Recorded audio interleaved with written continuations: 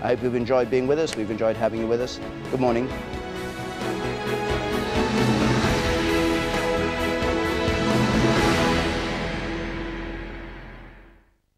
Alan Squires just moved in next door. It's your worst fear. One day along comes this monster and we're prisoners in our own home. Neighbours from hell. How come you two can afford a place like this? Kevin Whately. Shut up! Shut up! John Thomson. Maybe it's you're jealous, right? And Denise Van Outen. We can do what we like. Murder in Mind. Don't consider it cruel or evil. Mm, necessary. Sunday at 9 on BBC One. Get caught. Year 1942. Objective defeating the Nazis. Mission controller Roosevelt. Fixer Churchill. There can be no peace without sacrifice. This time it's de Gaulle. The stage is set for a walk with the devil. The Tangled Alliance continues. Allies at War, Tuesday at 9 on BBC Two. Britain wakes up to an historic second term of Labour government. But what now for the Conservatives?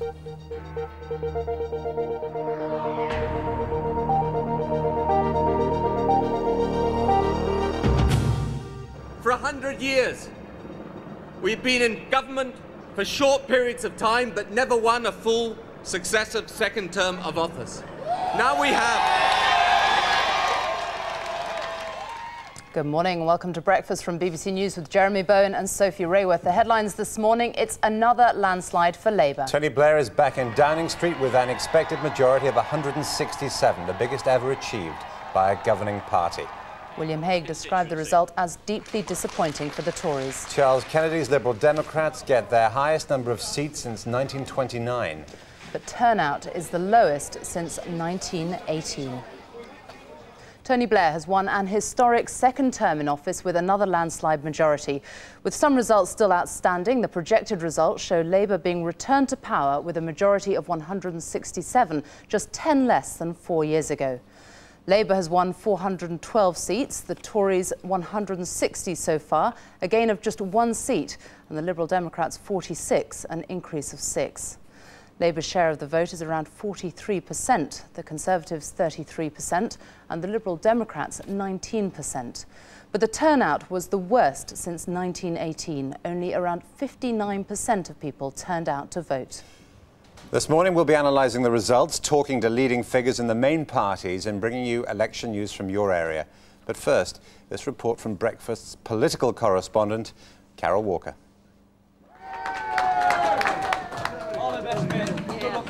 From the moment the polls closed, it was clear that Tony Blair was heading for the second term that had been his burning ambition since he became Prime Minister. His family were with him at his count in Sedgefield. He spoke of his humility and determination to fulfil the expectations of the voters. And you have given us tonight an historic moment for the Labour Party. For tonight, the Labour Party, for the first time in our 100 years of our history, looks as if we may be on the verge of a second successive full term of office. And that is an extraordinary thing. It's what we've always worked for, and we worked for it not because simply to be in office itself, but because we always knew that in order to complete the work that we began, it would take more than one term of office to do so.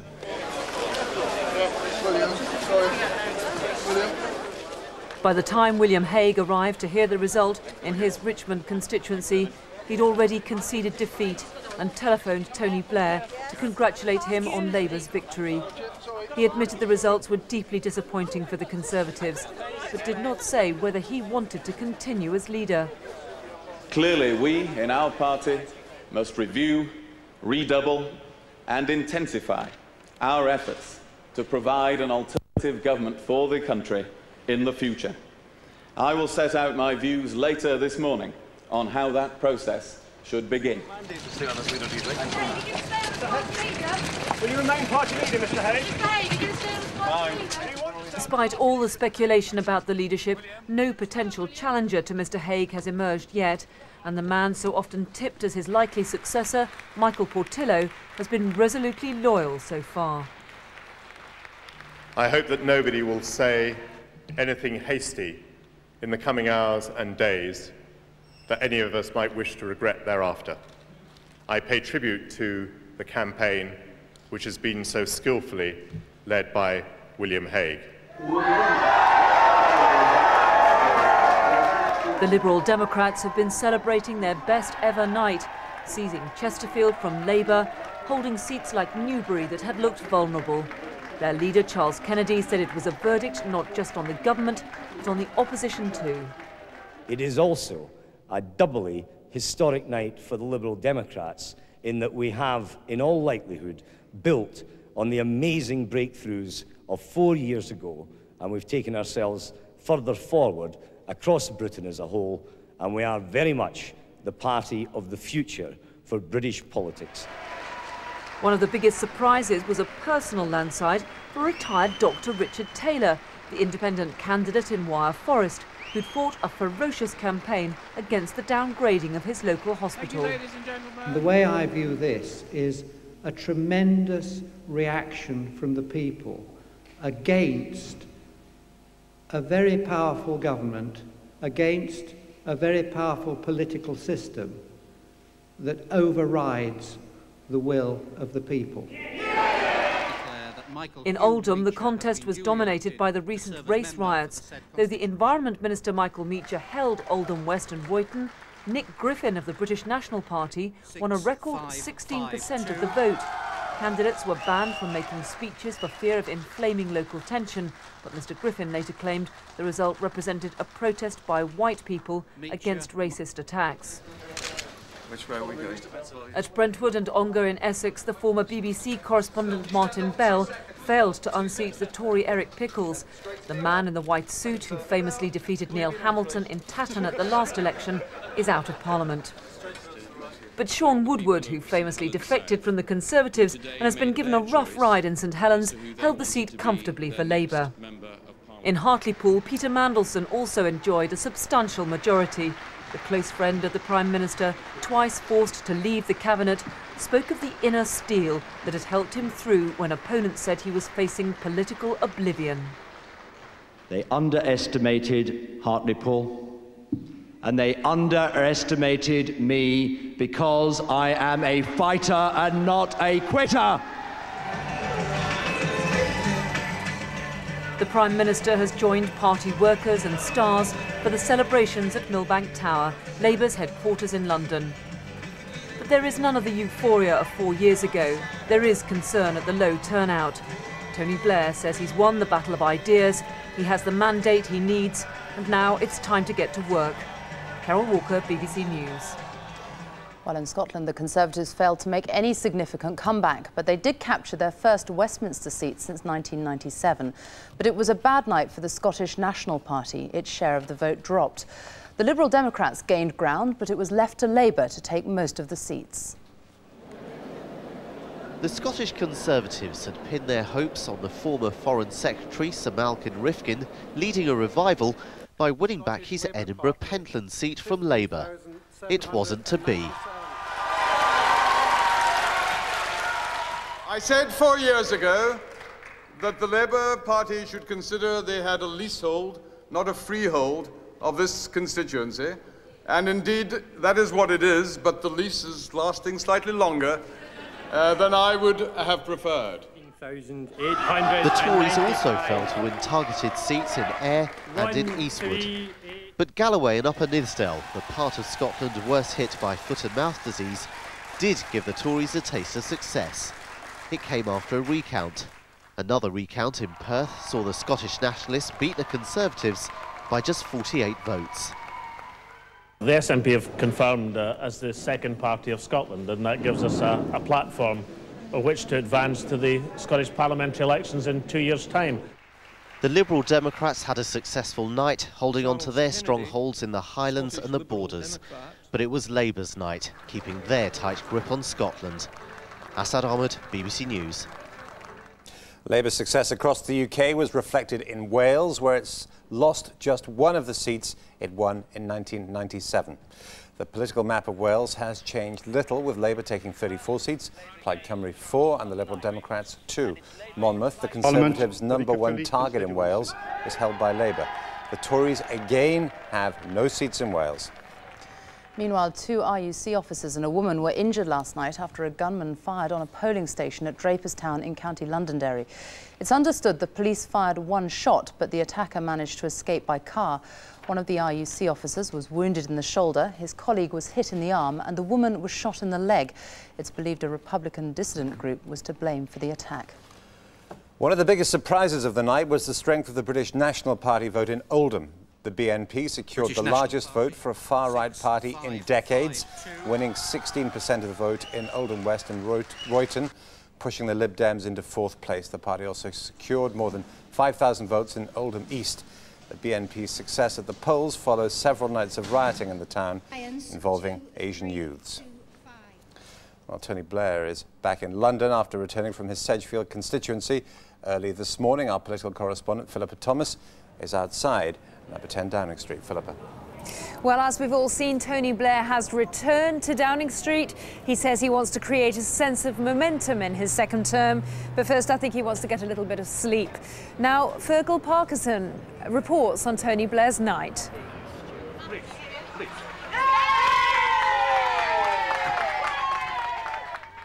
Looking relaxed and relieved, Tony Blair arrives at his constituency Labour Club to celebrate his imminent victory amongst friends and supporters. Although the final result still wasn't known, he was confident he was back in charge. If Tony Blair was relieved, so was the former Conservative MP Shaun Woodward, who despite his obvious unpopularity was elected to the safe seat of St Helens South. But that Butler story just wouldn't go away. Well, Shaun Woodward, um, taking your butler to Westminster? Um, I'm looking very much forward, uh, Jeremy, to being able to represent the people of St Helens after this result for the Labour Party and for everybody who's worked on this campaign tonight. Meanwhile, the troubled Foreign Office Minister Keith Vaz, who's at the centre of the recent passport row, got his own back to Westminster.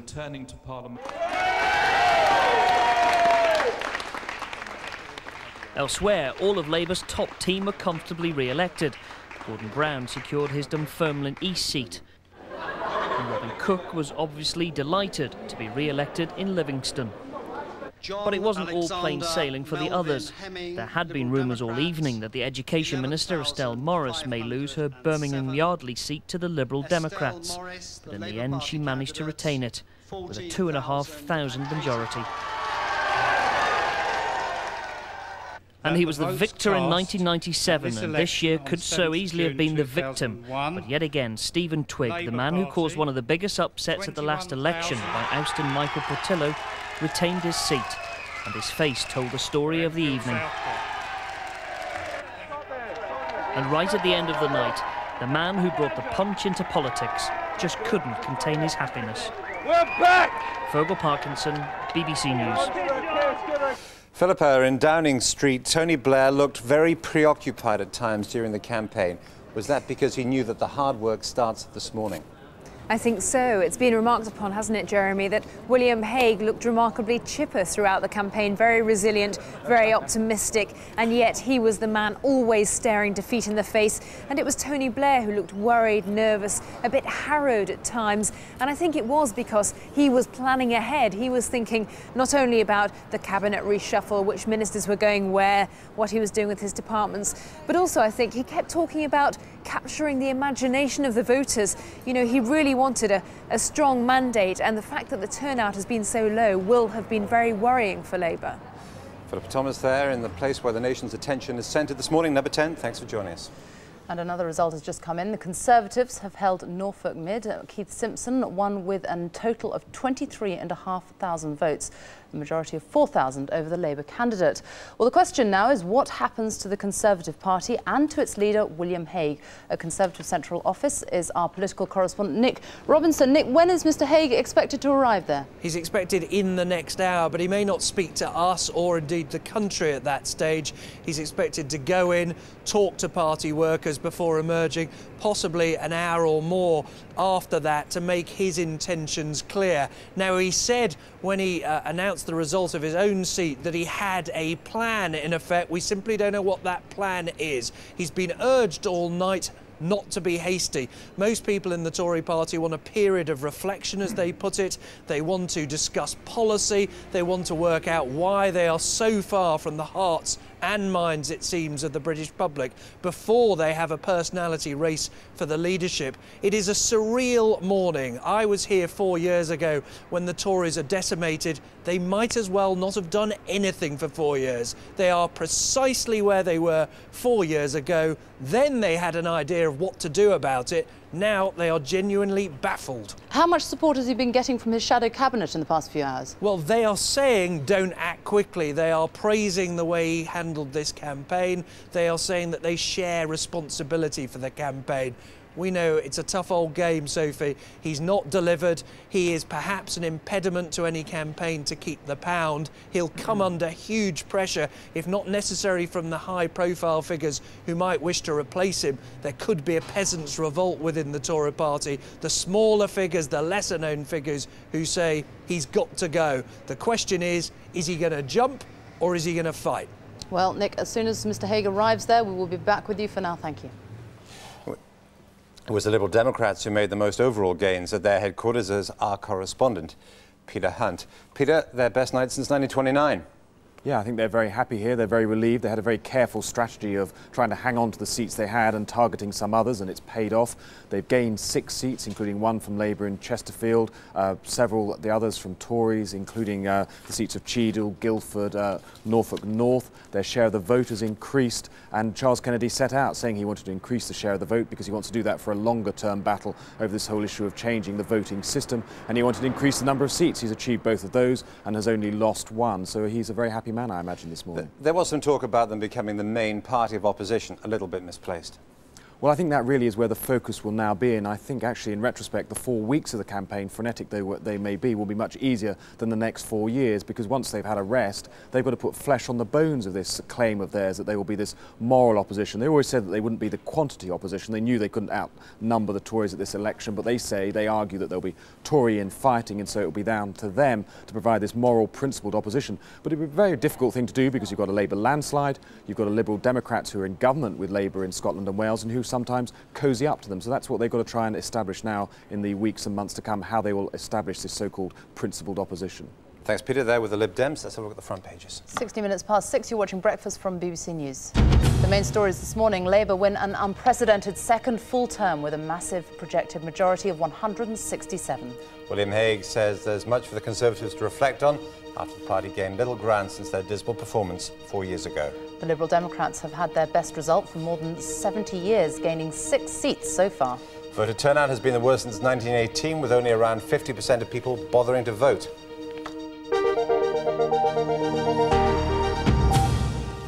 And the front, now let's pages. Have at the front pages. No, let's have a look indeed. The Daily Express this morning, We Are the Champions is their headline there. Blair romps home and casts Hague's crushed Tories into election oblivion. And this is something that might be on the mind of the Prime Minister and his friends this morning. In the Mirror, what the hell are you lot looking so smug about? Get back to work. It's on about 17 pages inside. The Independence headline there, Blair claims his mandate with massive majority. Labour takes second full term with historic victory, but turnout falls to modern-day low, with voters staying away. The Telegraph. Blair's black with a landslide. Historic second terms, Tories thumb to defeat, Lib Dems gain. Portillo urges Hague not to quit yet, it says at the bottom of the front page. Those three dots perhaps rather significant. Daily Mail, their election special. Father's Day is their headline. Victorious Blair gives daughter a hug, but the real winner, they say, is apathy. I think we've done most of the papers and we've the Sun here. as well. Let's have a look at the Sun. There you go. Blair is back. It says Labour romps in with epic second landslide. And we have one more paper, the Daily Star. They've ignored the election. Now, throughout this election, we've heard comment and opinion from a group of undecided voters, especially selected for BBC Breakfast. Some of them voted yesterday and some did not.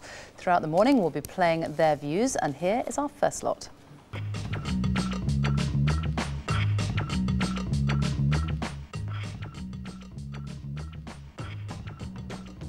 In the end, I voted for the Lib Dems as the credible opposition. I found the Tories to be unelectable and felt that the Labour Party needed to be seriously challenged. I voted for the Labour Party because I believe that they t- deserve another term of office in order to make some more changes. I voted for the Conservative Party because I trust them more and believe more in their policies. I voted Labour because the other parties didn't offer me the alternatives I was looking for. I voted for the Liberal Democrats because Charles Kennedy seemed honest and sincere. I voted for the Lib Dems because I think they're down to earth and sensible. While Andrew Marr, the BBC's political editor, has been up all night analysing the results, he joins us now. What a night! An extraordinary night, really, because it was a night where we were sitting there waiting for all these seats to change hands, and mostly they didn't. And yet, if you stand back from that, it's actually a historic moment because not only in terms of the history books does Labour win this full second term on a massive number of seats, also a hideously low turnout. The lowest turnout in this country during our democratic history. You have to go back to 1918 when women didn't have the vote and people were still knocking the Flanders mud off their boots to find a turnout as low as this. Fewer than one in four people actually voted for Tony Blair, and yet he has got this massive Commons majority. Now, the big question is obviously what is going to happen to William Hague? very difficult. Um, I think he set himself some kind of personal hurdle in terms of the number of seats that he thought he could win back. Other Conservatives have talked about their assumption that they'd get anywhere between 25 and 50 seats. Whatever hurdle he set himself, he clearly hasn't jumped over it. The question is, is he going to go now? Now, a lot of the people that you'd expect uh, wanting him to go now, possible alternative leadership challengers, are saying, please don't go. The Conservative Party is in shock, it's in trauma, it's gone through this awful traffic accident. Don't leave us. Let us settle down, ask ourselves what went wrong. So it's, it's a difficult decision for him. Does he walk away like John Major did after the last shattering defeat, or does he stay on, but in the knowledge that a lot of the policies and the strategies that he's uh, followed over the last uh, few months and years when it came to it, simply didn't work. And meanwhile, the Liberal Democrats are going to be very pleased with their, their new gains. Very pleased indeed. Uh, Charles Kennedy has, by common consent, had a very good election campaign. Others have had very glitzy, very carefully stage managed elections. Charles has kind of wandered through this in a rather shambolic fashion. Um, talking about the importance of more money for the public services. He's not very good at the razzmatazz, and this has worked for him. But with one warning and proviso, he has moved the Liberal Democrats clearly to the left of the Labour Party, and not all Liberal Democrat voters are that way inclined, and one day they may wake up and notice. Now, another huge majority, obviously, for Labour, but I mean, the question now is can they deliver what they promised? Can they deliver on public services in the next four or five years? You don't know. I don't know. Maybe Do they, they know? I don't think they know necessarily. They think they can. It's taken Tony Blair quite a while to work out how the machinery of state, all those levers of the civil service actually work. He thinks he can deliver much better hospitals, much better secondary schools, and a transport system that actually gets us around the country. But he has four years now to do it. And if we're all sitting here in four years' time and that hasn't really changed, you don't notice a big difference, then I think then not only Tony Blair, but New Labour, the whole project, is in deep, deep trouble. Andrew Marr, thank you very much. Well, it was the issue that the Conservatives fought much of their election campaign on, but it didn't seem to attract the voters. The euro. Now it's one of the biggest issues facing the new Labour government. Europhiles want swift action to start the referendum process, encouraging Britain to join the new currency, but there are plenty urging caution. Despite the Tories' best efforts, the euro never became the campaign issue they hoped it would. Thank you very much. Keep the pound. Yeah, thank you. According to the pollsters, it remained low down the list of people's priorities. But Labour's Europhile wing says now the election's won, the government must move quickly towards a referendum. The best chance of winning it is to go pretty soon, to go in the first year, to get it well out of the way before the next election, also in case there's some sort of mid-term dip in the government's popularity sooner the better. In the campaign, Mr Blair and Mr Brown presented a united front on the euro. Their mantra that Britain won't enter the eurozone until the Treasury's five economic tests have been fulfilled. But some in Labour believe the Prime Minister and his Chancellor are divided on the issue. Gordon Brown knows that the economic consequences for Britain are likely to be pretty disastrous, which is why he's so reluctant. Campaigning in his Nottingham constituency, Alan Simpson made no secret of his anti Euro beliefs. He hopes the government will shell the referendum. If they don't, he thinks, Labour will be split and its main task, delivering better public services, will be greatly hampered. I think what Downing Street will have to calculate is do you want to open that divide on day one of a new government which has a mandate to deliver other things Mr Blair believes Britain should take a leadership role in the EU. Joining the currency is part of that vision. For many Labour Europhiles, it remains the defining issue, the one this Prime Minister will be judged on. There'll be lots of cautious people in his party who say, we don't care that much, don't do it. But I think it is his own firm intention to do it. Joining the euro would have profound economic and constitutional implications. It's also a deeply political issue, which will loom large on the new government's agenda. Robin Aitken, BBC News. Well, results are coming in all the time, and two more have just come in. Labour have held Kettering, Philip Sawford winning by a small margin of just under 700 votes over the Conservative candidate. And Hampshire North West has been held by the Conservative George Young with a massive majority of 12,000 votes.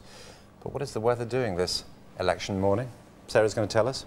I am indeed. Good morning, Jeremy. It's gorgeous here in central London. Loads of sunshine around. The wind's lighter than yesterday. It is a little bit chilly. The temperature here in London is around about 9 degrees. And it's certainly a pretty chilly start for the day in some rural areas. The temperature in Benson, in Oxfordshire at the moment, is just 1 degree Celsius and it's 3 in Bournemouth and in Aviemore.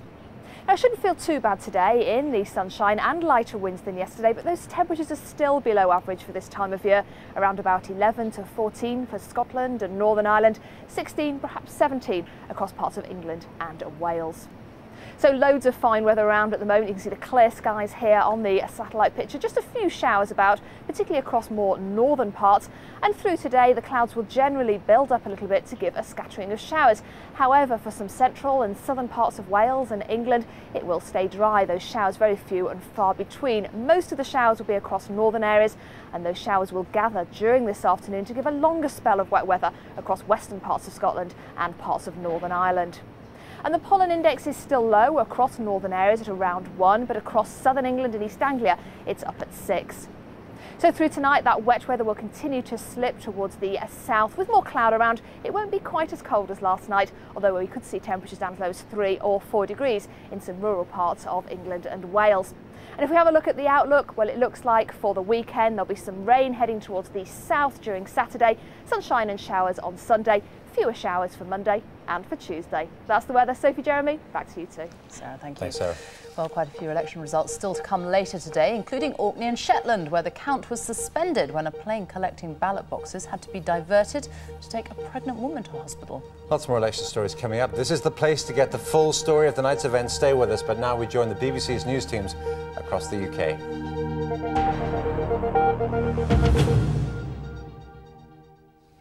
Good morning from Newsroom Southeast. I'm Nina Hossain. Well, the Tories and Liberal Democrats have won individual battles in constituencies, but Labour has won the war. Last night, London and the Southeast looked like this, and now, well, it's pretty difficult to spot the difference. One of the most significant factors in the 2001 election was the record low turnout. The average across London was just 56% and below 50% in some constituencies. Labour held on to nearly all the gains it made in the last election, including marginal seats like Finchley and Golders Green, Mrs Thatcher's old seat. And a 7.6% swing to Labour in Enfield Southgate meant Stephen Twigg held on to the seat he took from Michael Portillo in 1997. The Lib Dems maintain their swathe of southwest London, a total of five seats in the capital. In Kingston and Surbiton, they managed to turn a 56-vote win into a majority of more than 16,000. And in Guildford, the Lib Dems partied through the night after snatching the seat from the Tories.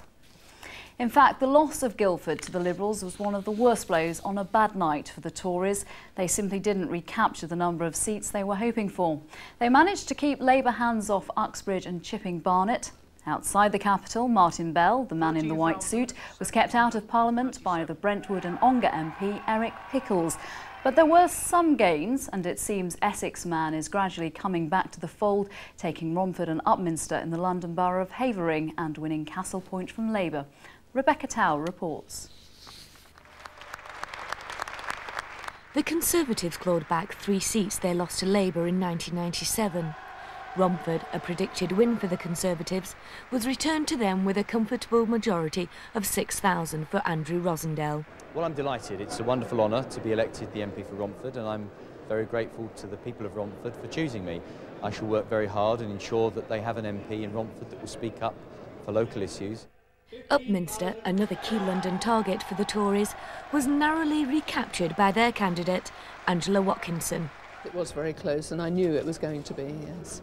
So, uh, one of the major efforts today has been making sure that our supporters actually translated their votes in, in the polling booths.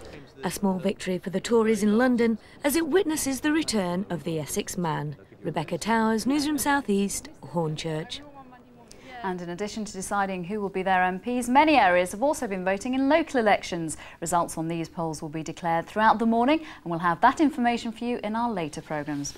Don't forget you can get all the latest analysis of the election results here in London and the South East in a special programme at 9 o'clock this morning. If you can't get a television, there's also coverage on London Live 94.9. Just before we go, quick look at the weather. Early sunshine will clear to make way for sunny intervals and light showers, temperatures peaking at 18 Celsius. Now back to Jeremy and Sophie.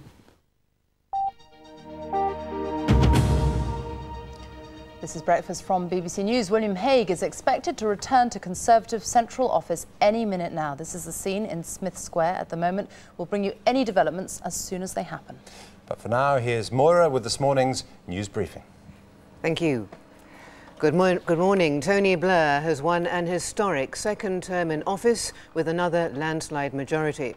With some results still outstanding, the projected results show Labour being returned to power with a majority of 167, just 10 less than four years ago. Labour has won 413 seats and the Tories 162 so far. They've gained just one seat. The Liberal Democrats won 46, an increase of six. Labour's share of the vote is about 43%, the Conservatives 33% and the Liberal Democrats 19. But the turnout was the worst since 1918 with only about 59% of people voting. Well, this morning we'll be analysing the results, talking to leading figures in the main parties and bringing you election news from your area. But first, this report from Breakfast political correspondent Carol Walker. The Prime Minister this morning joined party workers and stars for the celebrations at Millbank Tower, Labour's headquarters in London. The joy at a second historic victory has been tempered by the low turnout. There's none of the euphoria of four years ago, instead a determination to fulfil the expectations of voters. The people of this country want us to serve them, want us to do the things that we promised that we will do, and they want us to be very clear about our mandate here. By the time William Hague arrived to hear the result in his Richmond constituency, he'd already conceded defeat and telephoned Tony Blair to congratulate him on Labour's victory. He admitted the results were deeply disappointing for the Conservatives, but did not say whether he wanted to continue as leader. Clearly, we in our party must review, redouble and intensify our efforts to provide an alternative government for the country in the future. I will set out my views later this morning on how that process should begin. The Liberal Democrats have been celebrating their best ever night, seizing Chesterfield from Labour, holding seats like Newbury that had looked vulnerable. Their leader, Charles Kennedy, said it was a verdict not just on the government, but on the opposition too. It is also a doubly historic night for the Liberal Democrats in that we have, in all likelihood, built on the amazing breakthroughs of four years ago, and we've taken ourselves further forward across Britain as a whole, and we are very much the party of the future for British politics. Begin. Tony Blair and his wife Cherie are now back inside number 10 Downing Street. It's thought the Prime Minister will begin work right away to appoint a new cabinet and to bring about wider changes in the way the government is run. Carol Walker, BBC News. And the Liberal Democrats have just gained Ludlow from the Conservatives. Matthew Green takes over as the MP with a majority of just over 1,500. Voter turnout was 68%. In other news this morning, eight Japanese primary school children and a teacher have been stabbed to death by a man who burst into their classroom. At least 23 children and three teachers were injured in the attack, and many of them are still being treated in hospital. The stabbings occurred shortly after classes began at a school in Osaka. Police say a mentally disturbed 37-year-old man has been arrested. James Lawson, the father who killed his mentally ill daughter, is due to be sentenced today at Maidstone Crown Court. He pleaded guilty in May to manslaughter with diminished responsibility after helping his suicidal daughter Sarah to end her life. Mr Lawson and his wife claimed their 22-year-old daughter was repeatedly failed by the National Health Service. In the United States, the Federal Appeals Court has rejected Timothy McVeigh's request to delay his execution for the Oklahoma City bombing. He is due to die by lethal injection on Monday, six years after 168 people died in America's worst act of terrorism. Timothy McVeigh's lawyer has said he will not ask the U.S. Supreme Court to delay the execution. The FBI has been called to investigate incidents of alleged sabotage of Boeing 737 passenger planes at a factory in Seattle. The company says it has stepped up security at the plant after discovering as many as 10 incidents of suspicious damage to aircraft under construction. Last year, Boeing fought a bitter industrial dispute with its engineers, and in March, the company announced it would be moving its headquarters to Chicago. The result of the Irish Republic's referendum on the European Union's Treaty of Nice will be known today. Irish voters have been asked whether they accept the treaty, which permits the enlargement of the European community. If they reject the treaty, it will be a serious obstacle to plans to allow more countries to join. Reducing ambulance response times to five minutes could almost double survival rates for heart attacks, according to research in the British Medical Journal today. Government targets state that nine out of 10 emergency calls should have an ambulance on the scene within 14 minutes. The UK has one of the highest rates of heart disease in the world. Survival rates from heart attacks outside hospital are three times lower than in countries such as the United States. Well, Britain has seen one of the biggest falls worldwide in deaths from testicular cancer over the last two decades. Research published in The Lancet says early diagnosis and improved treatment are behind the 72% reduction since 1979. The figures were better than those of any country apart from Sweden. A pitch invasion disrupted play in last night's England versus Pakistan cricket match at Edgbaston. The players were forced to leave the field for half an hour as thousands of Pakistan supporters swarmed onto the pitch, mistakenly believing the game had been won. It was the first incident of its kind at an international cri cricket match in Britain. And that's the news for now. Back to Jeremy and Sophie. Thanks very much, Moira. Well, it was a good night for Labour in Wales as well as the rest of the country, with Plaid Cymru failing to perform as well as, as well as they did in the Welsh Assembly elections. The Labour Party, in fact, gained a seat in Ynys but Plaid Cymru took some comfort by taking Carmarthen East from Labour. Joining us from Cardiff is our Wales correspondent, Wyre Davies. Wyre, good morning to you. Uh, Labour supporters, core Labour supporters in Wales, became very disgruntled during the last government. Looks very much as if they returned to the fold. Indeed, it's a, it's a glorious morning here in Cardiff, as you can see, especially if you're a Labour Party supporter. That challenge you referred to there, that challenge, especially in the South Wales valleys, Plaid Cymru hoping to, to take up that core socialist Labour vote that's been abandoned apparently by Labour Party moving to the right. It just didn't happen. The vote in the valleys held up. Labour's vote everywhere in Wales held up. In fact, Labour still controls 34 of the 40 Welsh seats. Plaid Cymru still have four. They lost Ynys Môn, Anglesey, as you said, but they did pick up Carmarthen, East and Dinefwr. The Lib Dems did very well to hang on to their two seats in Mid Wales, but the big losers yet again in Wales are the Conservatives. Not a single Conservative MP returned from Wales for the second election in a row. Quite a disastrous night for a party which has in the past had five or eight uh, MPs from Wales. So Plaid Cymru not doing as well as they'd hoped, certainly better than the SNP in Scotland, but Labour again basically painting Wales red. What are Wales Tories saying about their, their, their second failure? Because you think of all those uh, prosperous parts of uh, the suburbs of Cardiff, the Vale of Glamorgan, places like that, where you, you think there should be a lot of Tories. Indeed, the only place they really came close was it was in Monmouth. That was a, just about an hour and a half ago. The last place in Wales to declare, and they lost that by, by about a thousand votes. They had really hoped to take Monmouth. It's a rural, English-speaking constituency, very suspicious of the Welsh Assembly, um, a very rural, affected by foot and mouth. The type of constituency the Tories should have easily taken. They didn't take it. Uh, ironically, the Tories, if you take Wales as a whole, not the constituencies, have the second highest vote in Wales.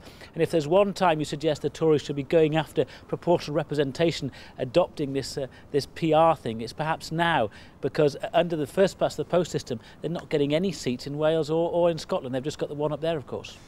Willie Davies, beautiful morning there in Wales' capital city. Thanks for joining us from Cardiff. Well, the results are coming in all the time. The Conservatives have held Blaby with a majority of just over 6,000, virtually unchanged from 1997. Well, let's look now at the Liberal Democrats because many commentators thought the Lib Dems had the best of the campaign. And once again, they pulled off a few surprises. He's been smiling all night. He's been smiling throughout the election campaign. And with good reason, Charles Kennedy has led the Liberal Democrats to their best election result since the 1920s. Mark Sanders has been elected for the constituency of Torbay. Uh, this was the Tories' It started early on the English Riviera. Adrian Sanders was defending a tiny majority of just 12. He eventually won by more than 6,000. I am absolutely staggered, stunned, amazed at the size of my majority 6,708.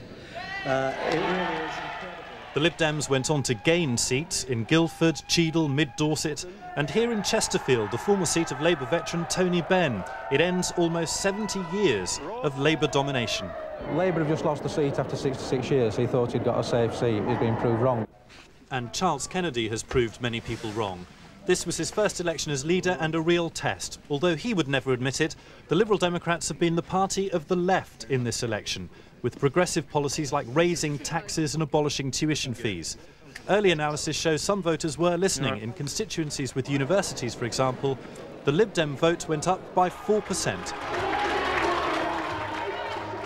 And we're steadily on the way now, and we're going to have to be the effective opposition, because the other lot are going to spend all their time biting each other's ankles.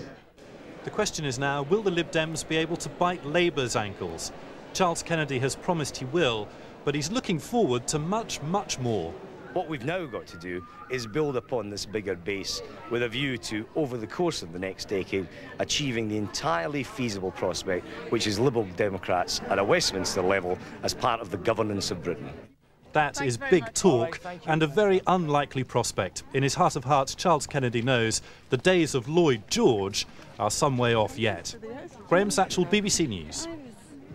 Now, I think we can go live now to pictures of William Hague. He is about to arrive there at Conservative Central Office in Smith Square. He's flown down from his constituency in North Yorkshire. We're not sure whether or not he is going to say anything before he goes into Central Office. Uh, it's understood that he may head straight in and talk to party workers. We know already that he has said party workers who've worked so hard for so little reward. William Hague this morning saying already that his, he is deeply disappointed with the results. Yes, he made a gracious speech in his constituency. He said he telephoned uh, the Prime Minister, Tony Blair, to say that he wished him well. He said everybody should wish a Democratic leader well on the morning of an election.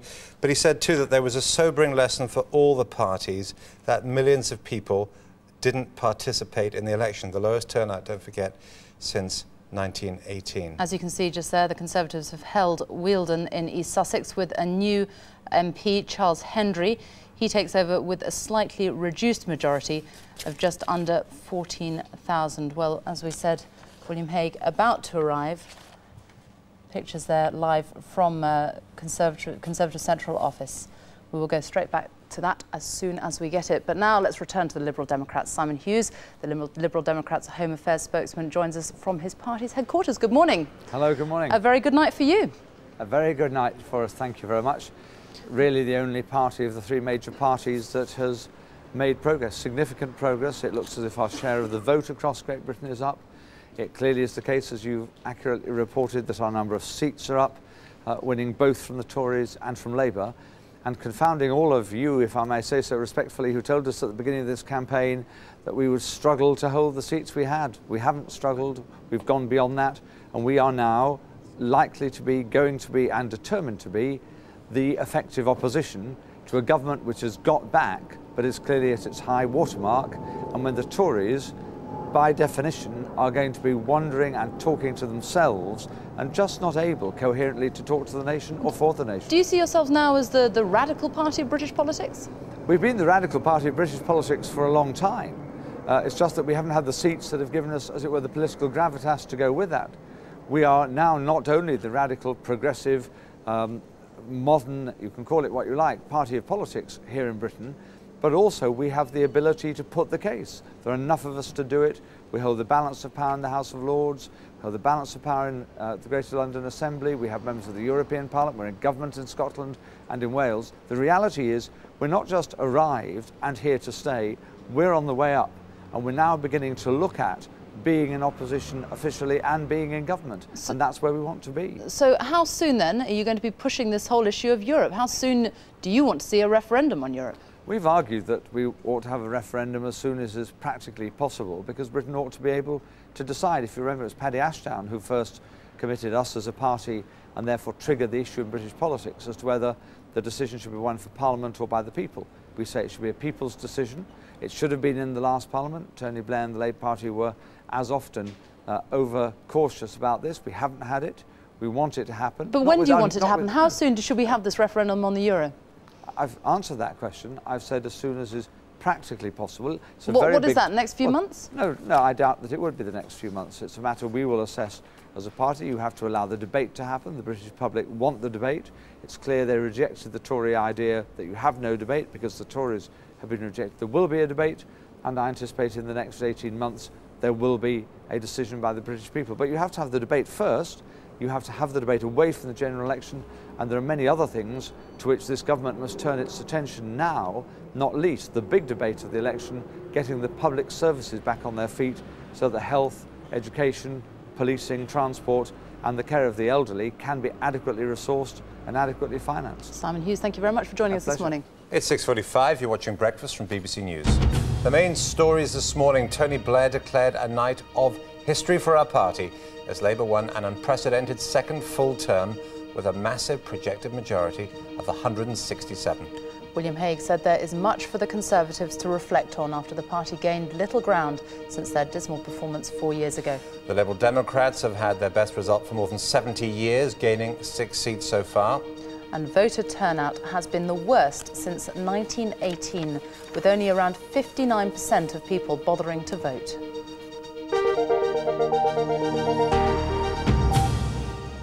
One of the key questions now is when will the government call a referendum on the European single currency? Uh, Other European countries will be watching Britain closely. Our correspondent Angus Roxburgh is in Brussels. Angus, good morning to you. What would our European partners like us to do now? Oh, they would like us to get on as quickly as possible with the task of organising a referendum, uh, hopefully getting through that referendum and joining the single currency uh, as quickly as possible. They understand, of course, that uh, at the moment probably the economic conditions for Britain to join the single currency aren't right. That's what the British government is saying as well. And they support the idea that uh, Britain should carry out these five economic tests to decide uh, at which point uh, Britain will be suited, suited to join the, the, single currency. But as soon as that happens, as soon as the economies of Britain and the rest of the continent are convergent, as they say, then we should get on with the business of joining. Are they hoping that a more secure Tony Blair in this, uh, backed by this huge landslide again, is going to be more Euro enthusiastic than at times he's had to be in the previous government? I, I, think they certainly hope that. Whether that will be the case or not uh, remains to be seen, but certainly that is the hope. Uh, on two counts, really. One, uh, as far as the single currency is concerned, as I say, they certainly hope that he will get on with the business of joining the single currency. But then in the next uh, three or four years, there's another huge wrangle uh, across uh, the horizon here in Europe over the very future of Europe. Another one of these interminable conferences to decide the future of Europe is going to be held, and that will once again pit Tony Blair against those in Europe who want more integration, faster integration, harmonisation of all sorts of taxes and so on. So we can see a lot of argument uh, in the future over that. But at the same time, I think it is true to say that they do see Tony Blair as basically pro-European and willing to go along that road to some extent. Certainly they would have been horrified, I think, if uh, uh, William Hague had come to power with his promises of renegotiate, renegotiating old treaties and disrupting the whole uh, uh European process. Angus Roxburgh in Brussels, thanks for that. We'll also be watching for reaction from the financial markets this morning. Our shares reporter Declan Curry is in the city. Declan, good morning. Sophie, good morning to you. I'll let you into a secret. The share markets are likely to do next to nothing when they open for business at 8 o'clock today. Uh, the latest figures we have from the City Bookmakers IG Index show a 30% rise in the FTSE 100 when trading starts, and most of that due to changes overnight on Wall Street. The City has been expecting a big Labour majority, a second historic term for Tony Blair for some time. Uh, those traders in the City who've been placing bets on it have been putting their money on a majority of around about 160 for the last four weeks. So the market has already priced in a Labour victory. So on the broad index of shares, no movement at all today. The place to watch, though, is the currency markets. There is an expectation there that this Labour victory will bring forward the date that the United Kingdom might sign up for that European single currency. That has driven the pound down uh, sharply over the last two days. As we speak this morning, sterling trading at very close to 15-year lows and may well fall when London currency trading finally gets going in the next hour or so. Now, do send us your views on uh, the election or anything else you want to send us your views on. Our email address, as always, breakfasttv at bbc.co.uk. Yes, the people have spoken, but some of them not with a very loud voice, and spoken perhaps by not voting. Did, did, you, did you vote? Let us know why you didn't vote if you didn't bother to go to the polls yesterday. Right now, though, let's have a look at the weather with Sarah Wilmshurst. Hello there, good morning, and it's a gorgeous start to the day here in London. Plenty of blue sky, the sun is shining but it's quite chilly, the temperature just 9 degrees. Having said that, it doesn't feel too bad because the wind is not too strong. Now you can see on our satellite picture here, there's a good deal of dry and sunny weather around across many parts of the UK at the moment. A bit more cloud up towards the north and already there are a few showers. Now through today we'll slowly see the clouds building up and they will bring with them some showers but they'll be very few and far between in southern parts for parts of Wales, central and southern England. It will actually stay dry for most of the day but further north there will be a scattering of showers. Some could well be heavy and they're going to gather together in parts of western Scotland and Northern Ireland later on to give a spell of more persistent rain. Now those temperatures are still a little bit below average for this time of year, around 11 to 14 degrees for Scotland and Northern Ireland, 16 perhaps 17 across England and Wales. But with lighter winds, if you can get into the sunshine, that shouldn't feel too bad. So some rain is going to head down from the north through tonight. That rain will still be around in some parts of northern Britain first thing at tomorrow. And then that rain will slip towards the south through the day, followed on by sunshine and showers. And then on Sunday, sunny spells, scattered showers, and most of those showers will be in the east. That's it. Sophie Jeremy, back to you two. Sarah, Sarah thanks very much. very much. We'll be back at 7 with the latest national picture. But before that, the election news from around the UK.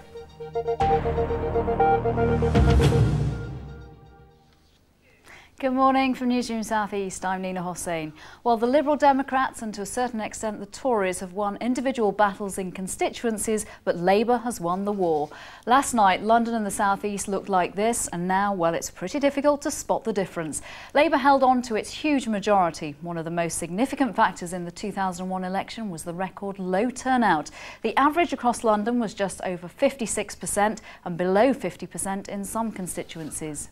Labour held on to nearly all the gains it made in the last election, including marginal seats like Finchley and Golders Green, Mrs Thatcher's old seat. And a 7.6% swing to Labour in Enfield Southgate meant Stephen Twigg held on to the seat he took from Michael Portillo in 1997. The Lib Dems held on to their swathe on southwest London, a total of five seats in the capital. In Kingston and Surbiton, they managed to turn a 56-vote win into a majority of more than 16,000. And in Guildford, the Lib Dems partied through the night after snatching the seat from the Tories. In fact, the loss of Guildford to the Liberals was one of the worst blows on a bad night for the Tories. They simply didn't gain the seats they were hoping for. But they managed to keep Labour hands off Uxbridge and Chipping Barnet. And outside the capital, Martin Bell, the man in the white suit, was kept out of Parliament by the Brentwood and Ongar MP, Eric Pickles. But there were some gains, and it seems Essex Man is gradually coming back to the fold, taking Romford and Upminster in the London borough of Havering and winning Castle Point from Labour. Well, joining me now is our political editor, John Craig. John, will Labour be pleased in the South East? Oh, I think so, yes, because there were some, a lot of very vulnerable seats which they could have lost, and they've held on to nearly all of them. And they've only lost a couple in London and one in Essex, so a good night for Labour. Interesting, a lot of the results are almost identical to what they were last time. Joe Coburn reports now. It was so sweet to win first time round. But believe me, and I'm sure Gareth will agree, to win the second time, to prove the first one wasn't a fluke, is really, really sweet. Yeah. Bruising words, but true. It was a double whammy for Labour's boys in Harrow, despite the Tories' hopes of staging a comeback. Their failure to take back Harrow West from Gareth Thomas astonished everyone. Labour's delight at holding Enfield Southgate reaching the very top. Stephen Twigg caused the biggest stir of the last election. This time his confidence has grown as Labour shows that it can hang on to former Tory strongholds. We had an excellent campaign and I was very fortunate to have a brilliant team of people, volunteers, working very, very hard. When it came down to it, no one factor explains the result. We certainly had a number of Liberal Democrats switching to Labour last time and this time. We also had a number of people switching from the Conservatives direct to Labour. Labour's success was repeated across the capital, with losses in just Romford and Upminster. There's one thing for certain. If I hadn't won Romford by Tuesday, Maggie made sure that I did when she came down. John, what about the Lib Dems? They seem to have proved they've got staying power in this area.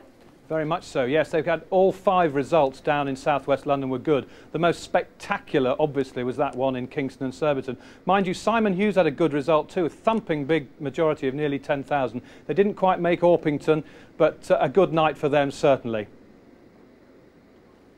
Davey, Edward Jonathan, Liberal Democrat, 29,530. A victorious night for Ed Davey as he's voted overwhelmingly as the Liberal Democrat MP. In 1997, Kingston and Surbiton had the smallest majority in London, just 56.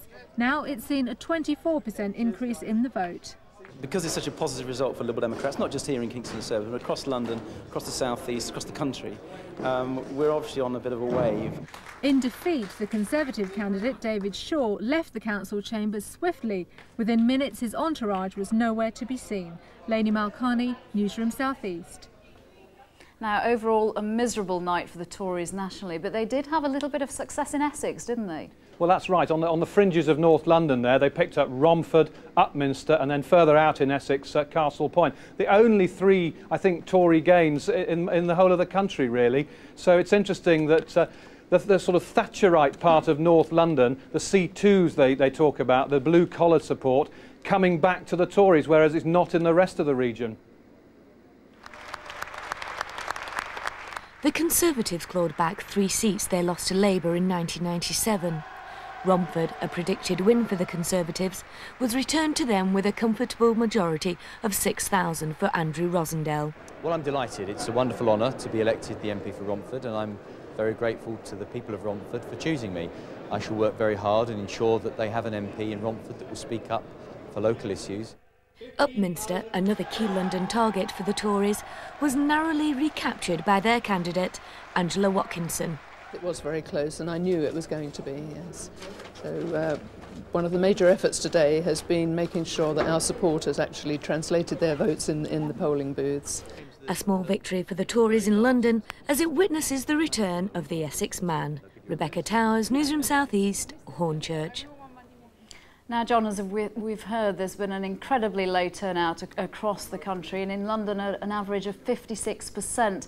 Why do you think people just weren't turning out to vote?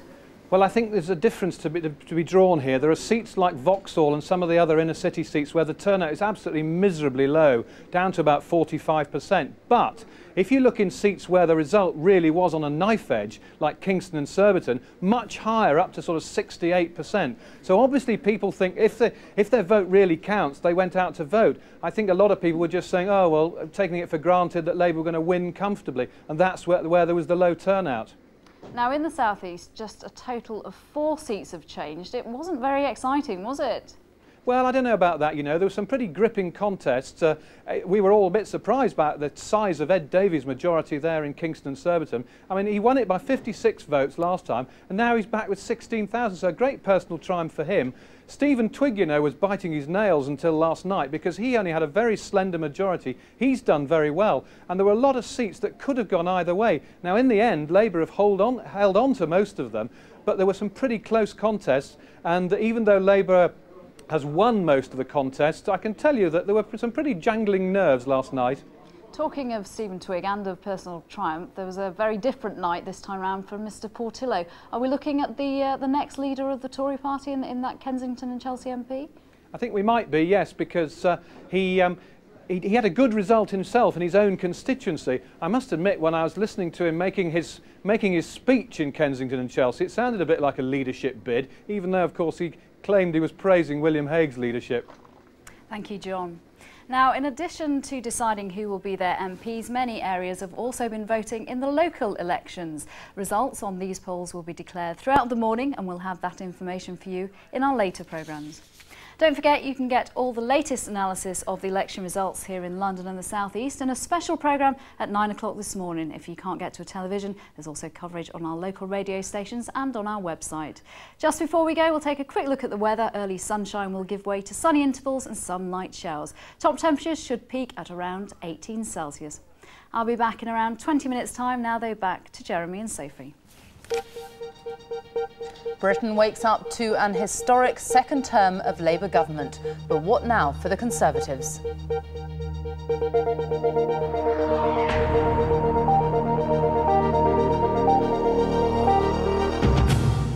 It is indeed a, a night of history for our party.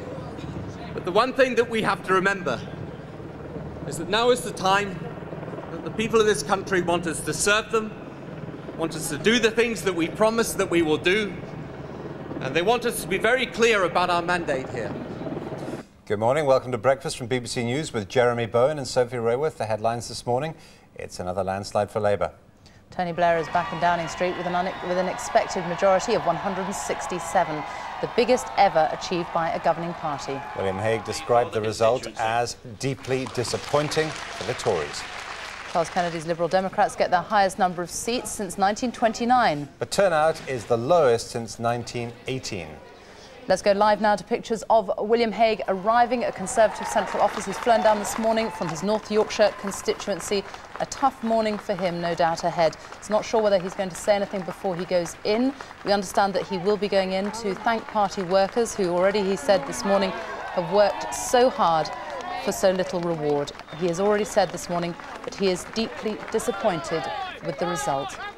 Obviously, he's going to be looking very closely at his own future now. That, that is the main story this morning, really, is after the election result itself. It's what does William Hague do next?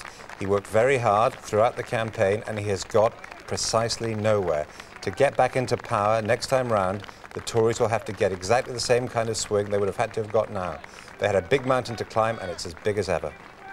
There he goes, going through the party workers. Still smiling, William Hague. His smile hasn't slipped, has it? It hasn't slipped all night, and there he goes indoors. We are expecting him, though, to speak in about half an hour. We will, of course, bring you live coverage of that as soon as it happens. Well, Tony Blair has won an historic second term in office with another landslide majority. With some results still outstanding, the projected results show Labour being returned to power with a majority of 167, just 10 less than four years ago. Labour has won 413 seats, the Tories 164 so far, the same number as the last election, and the Liberal Democrats 47, an increase of seven. Labour's share of the vote is around 42%, the Conservatives 33%, and the Liberal Democrats 19%. But the turnout was the worst since 1918. Only around 59% of people turned out to vote. This morning we'll be analysing the results, talking to leading figures in the main parties and bringing you election news from your area. But first, this report from Breakfast's political correspondent Carol Walker.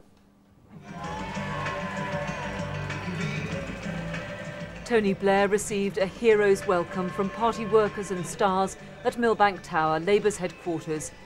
He's achieved the historic second term, which has been his burning ambition since he became Prime Minister and says he's won the battle of ideas. But the joy at victory is tempered by the warning signals of the low turnout, and there is none of the euphoria of four years ago. Instead, he's stressing that Labour must now fulfil the expectations of the voters. Now is the time that the people of this country want us to serve them, want us to do the things that we promise that we will do, and they want us to be very clear about our mandate here. Our mandate is to carry on the work that we started, to be sure that on the foundation of a strong economy delivered by a brilliant Chancellor, that we end up investing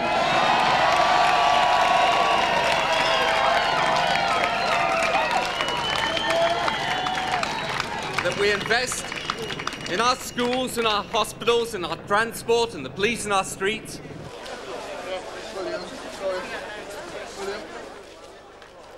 By the time William Hague arrived at his count at Richmond in Yorkshire, he'd already conceded defeat and telephoned Tony Blair to congratulate him on Labour's victory. He admitted it was a deeply disappointing result for the Conservatives, but did not say whether he wanted to continue as leader. Clearly, we in our party must review, redouble, and intensify our efforts to provide an alternative government for the country in the future. I will set out my views later this morning on how that process should begin. Will you remain party leader, Mr Hague? Despite all the speculation about the leadership, no potential challenger to Mr Hague has emerged yet, and the man so often tipped as his likely successor, Michael Portillo, has been resolutely loyal so far. I hope that nobody will say anything hasty in the coming hours and days that any of us might wish to regret thereafter. I pay tribute to the campaign which has been so skillfully led by William Hague. The Liberal Democrats have been celebrating their best ever night. They seized Chesterfield from Labour, a seat that was held for so long by Tony Benn, who stood down at this election. Their leader, Charles Kennedy, said the night's results were a verdict not just on the government, but on the opposition too. It is also a doubly historic night for the Liberal Democrats in that we have, in all likelihood, built on the amazing breakthroughs of four years ago, and we've taken ourselves further forward across Britain as a whole, and we are very much the party of the future for British politics. One of the biggest surprises was a personal landslide for retired Dr. Richard Taylor, the independent candidate in Wyre Forest, who'd fought a ferocious campaign against the downgrading of his local hospital. The way I view this is a tremendous reaction from the people against a very powerful government, against a very powerful political system that overrides the will of the people.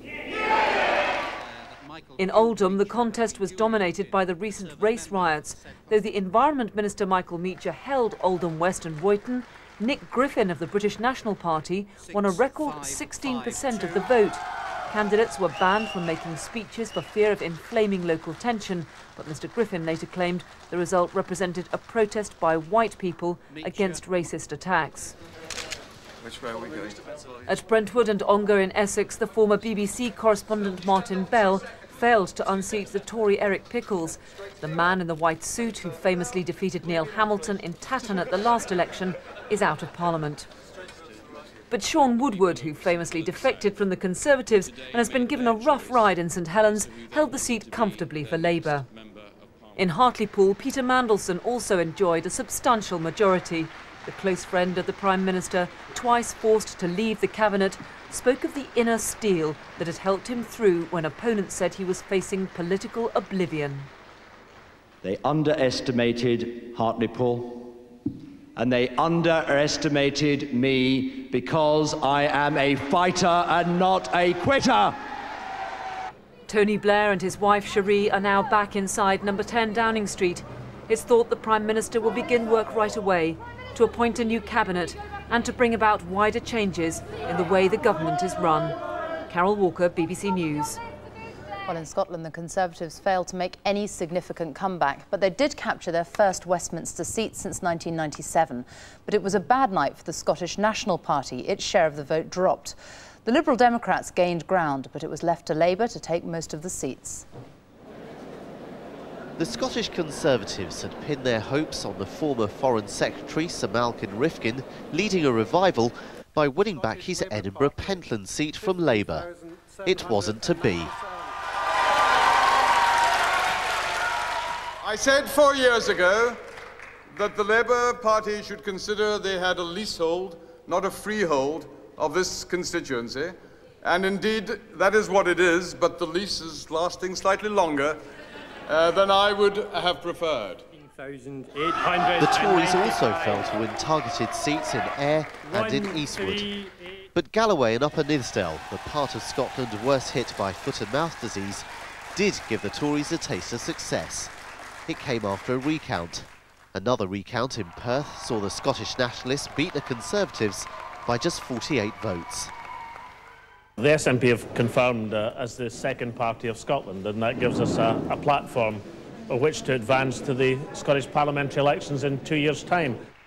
The Liberal Democrats had a successful night, holding on to their strongholds in the Highlands and the borders. But it was Labour's night, keeping their tight grip on Scotland. Asad Ahmed, BBC News. Labour's success across the UK was reflected in Wales, where it's lost just one of the seats it won in 1997. The political map of Wales has changed little, with Labour taking 34 seats, Plaid Cymru 4 and the Liberal Democrats 2. Monmouth, the Conservatives' number one target in Wales, was held by Labour. The Tories again have no seats in Wales.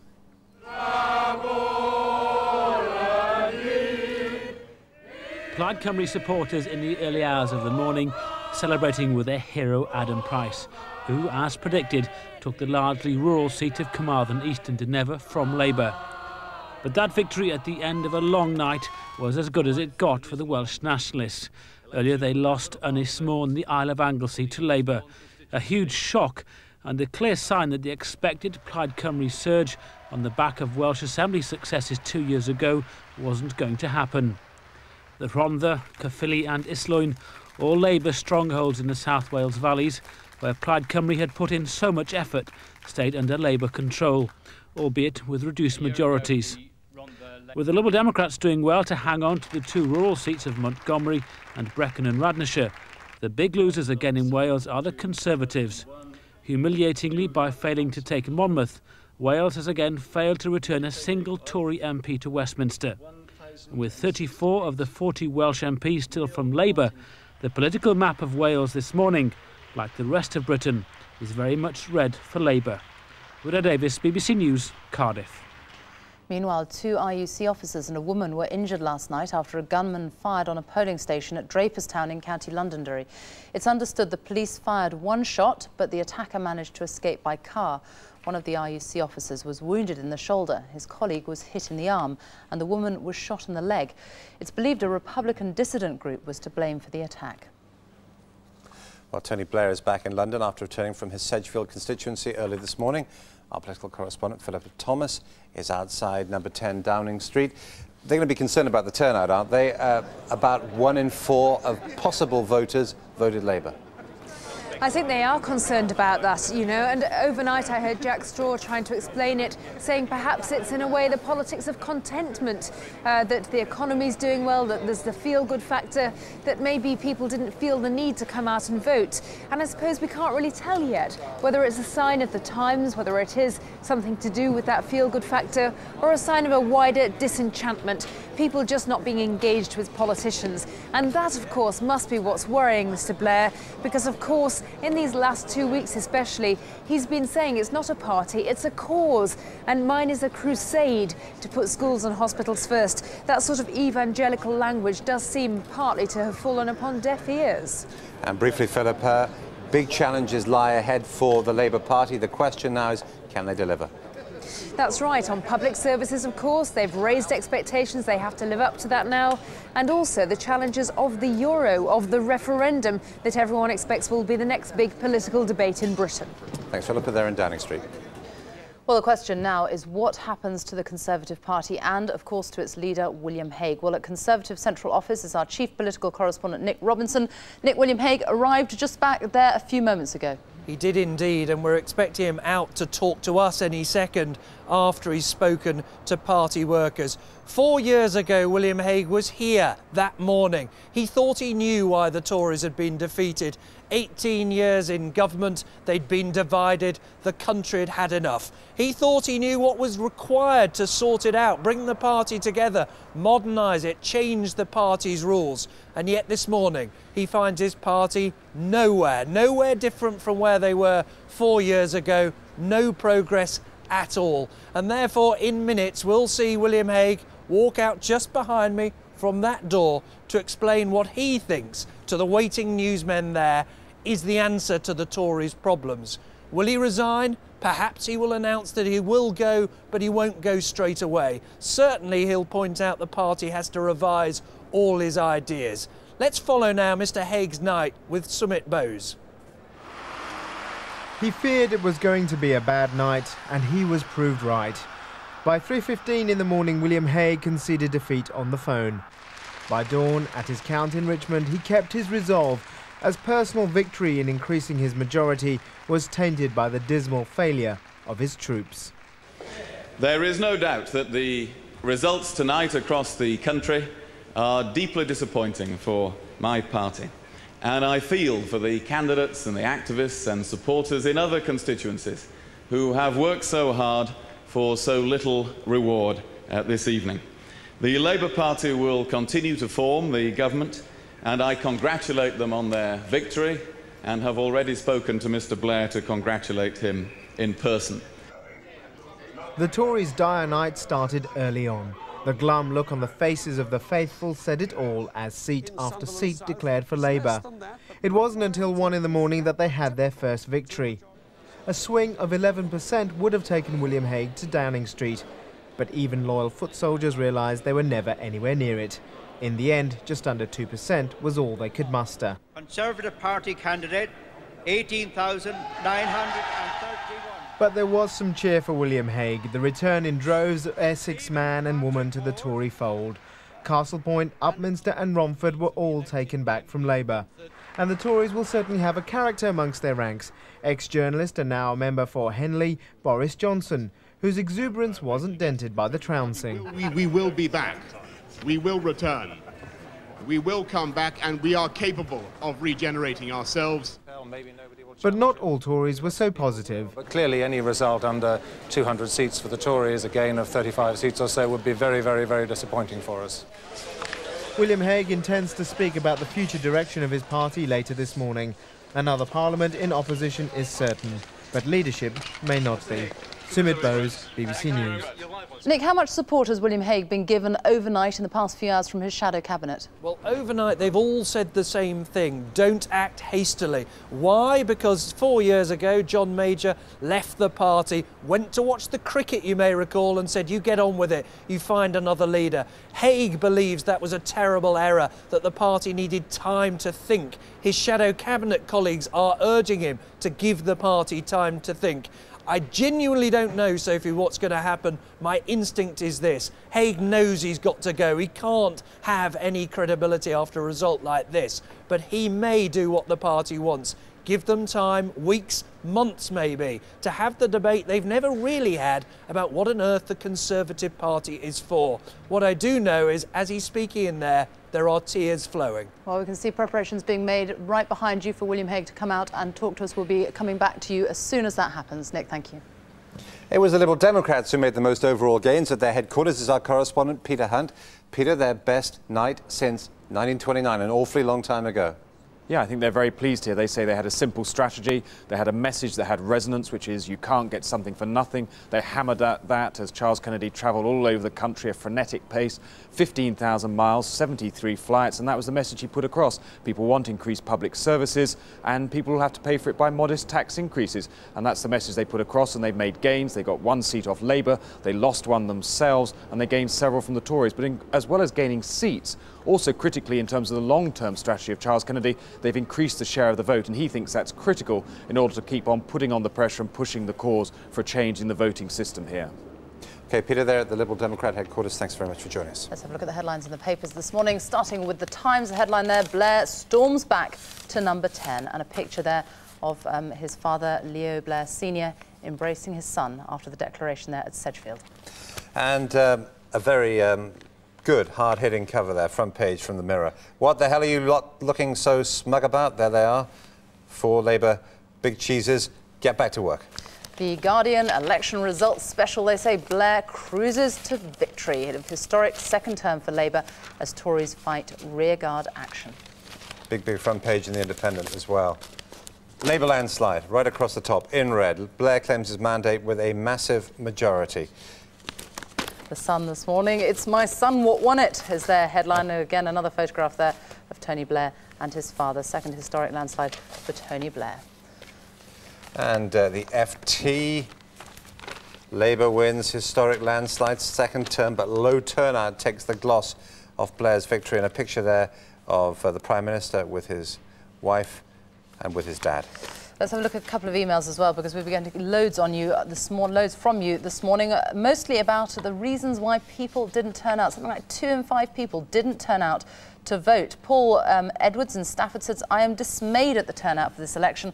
I believe that it is now time to make the vote compulsory like other countries. Kim Peters is a 17-year-old politics student. It angers me, Kim says, the amount of people that do not vote. 59% is an awful result. How can it be democratic when 41% of the country will be unrepresented in the new parliament? Keep your emails coming. Breakfast TV at bbc.co.uk, the address as usual. Now, throughout this election, we've heard comment and opinion from a group of undecided voters, especially selected for BBC Breakfast. They've told us how they voted and why.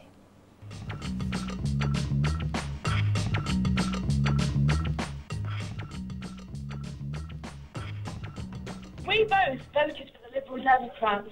Because we thought they were the most honest and consistent throughout the campaign, and the country needs a change. My husband and I decided to vote Conservative because we feel that the Conservative Party will offer the best for our family in the future. We both voted Labour and I voted because the unemployment figures have dropped greatly. And I voted Labour again for at long last we've got rid of this greed and selfishness that was created by the previous government. And another four years for Labour will do a world of good. I voted for the Liberal Democrats because they've done a lot of good in my area so far, and I believe that they'll honour the promises they've made over the election. And they're the straightest talking party I've seen. Well, joining us now from Westminster is Ian Taylor from the Conservatives. Good morning. Good morning. A devastating night. What went wrong? Well, uh, pretty well everything, obviously, because we've uh, not uh, got very many new people elected. I, am afraid we have to rethink our strategy. The one that we adopted in the election campaign was wrong. And it, it uh, started off badly and got worse. And it started off badly largely because the public wanted to hear what our views were on how we could reform the public services and compare them with Labour's. And instead of which, we led off with tax cuts, which meant that for the whole of the campaign, the British public switched off from what anything William Hague was saying. However courageously and combatively and gutsily he put it across in the campaign as he went from place to place. Can you rethink your strategy with William Hague then as leader? Well, I, I think William has uh, both the duty and experience now to help us lead into that debate. I mean, how long it, it takes uh, for that to happen, I do not know. But it's quite clear that we cannot stay where we are in the spectrum of British politics because there we will perish. And if we're to rescue the party, this great party of which I'm so proud of and have been member since the 1960s, I hate to see the state that we're in today. And we've got to start trying to address what the people want to hear. What are the social implications of economic policies? Not but just tax cuts. If William Hague said he wanted to stay on, would you back him? I think William would obviously uh, get a lot of sympathy at the moment. Uh, and indeed, if he was prepared to readdress the strategy so that we became much more of inclusive socially aware party, much more positive about Europe, then I think William could stay on. But that's a decision I'd rather let him make at the moment because it's been a very difficult night for him and for the rest of us. What voters have quite clearly shown is that this wasn't a referendum on the euro. Oh, of course it wasn't a referendum on the euro. That was a daft idea. Uh, only fanatics vote for a single issue in a general election, and the Tory party does not appeal just to fanatics. What do you do now then? Uh, we think very carefully. Uh, and we also just look at what the Labour government's going to do. The Labour government's been elected on one great premise, which is it's going to reform public services. If it genuinely is going to reform public services, then there will be occasions when we should be helping it. And we need to put forward positive ideas about how Conservatives would reform and extend and reinvigorate universal public services. If we can do that, then we are part of the relevant debate for the rest of the British public. But given that the Conservative campaign set out very clearly this was our last chance to save the pound, where do you go from here? Can you have another last chance to save the pound? I think there will be a lot of uh, my fellow Conservatives who are less positive about the euro and indeed Europe than me, who will bitterly regret that foolish strategy. Ian Taylor, thank you very much. Now, very shortly, William Hague, the Conservative leader, will be emerging from Conservative Central Office. There you see it live. The uh, assembled press corps, uh, broadcasters are waiting. He's going to be talking, making his first statement since his uh, acceptance speech after he won his, uh, his own seat back in Richmond. He'll be talking, and we're wondering if he's going to be talking about his own political future. Plenty of speculation, of course, this morning about what's going to be happening. Yes, stay with us for that because we're expecting him to come out in about 10 minutes' time. Right now, though, out there is Sarah Wilmshurst with a look at the weather. Yes, here I am in central London and what a glorious start to the day weather-wise. Lots of sunshine around and with lighter winds it feels much warmer than it did this time yesterday. Now it's not just here in London that it's sunny. We've got plenty of clear weather around across many parts of the United Kingdom. But a lovely shot over Glasgow too to show you. Clear blue skies here and a very light wind. Now looking at the satellite picture, we can see plenty of clear sky, not just across uh, England and Wales and uh, southern Scotland, but also into other western areas. But there is some cloud about too, particularly across the north and just a few showers here and there. Now through today, really we are looking at another day of sunshine and showers, so it's probably worth taking your umbrella out with you today, particularly across northern areas. Perhaps the best chance of staying dry across some central and southern parts of England and uh, South Wales. The showers here will be very few and far between. But say, they will be heavier across northern areas and they will become quite persistent too across western Scotland and Northern Ireland later on. Now those temperatures are still a bit disappointing for the beginning of June, 11 to 14 for Scotland, for Northern Ireland, around 16, perhaps 17 across England and Wales, but with lighter winds and the sunshine, it shouldn't feel too bad. So through tonight, some rain is going to head down from the northwest. That wet weather still around tomorrow, and that will continue its progress towards the southeast through the day, although it probably won't reach southeast England until late on. In turn, that will clear away to a mixture of sunshine and showers for northern areas. Then on Sunday, sunny spells and scattered showers again, really, although most of the showers will be in the east where there'll be some sharp ones. It'll be somewhat drier, the sh showers more scattered over towards the west. And taking a look at the outlook, well, after a rather unsettled weekend, as I was just showing you, showers or longer spells of rain, it does look like those showers will become fewer and further between next week. As the wind ease down, it will start to feel a little bit warmer. That's it. Sophie Jeremy, back to you two. Hey, Sarah, thanks very much. Little election snapshot for you now. The election of the Earl of Thurso as the Lib Dem MP for Caithness means the House of Commons has, for the first time, an hereditary peer amongst its membership. Stay with us. Not right now. We're going to join the news teams, though, across the UK.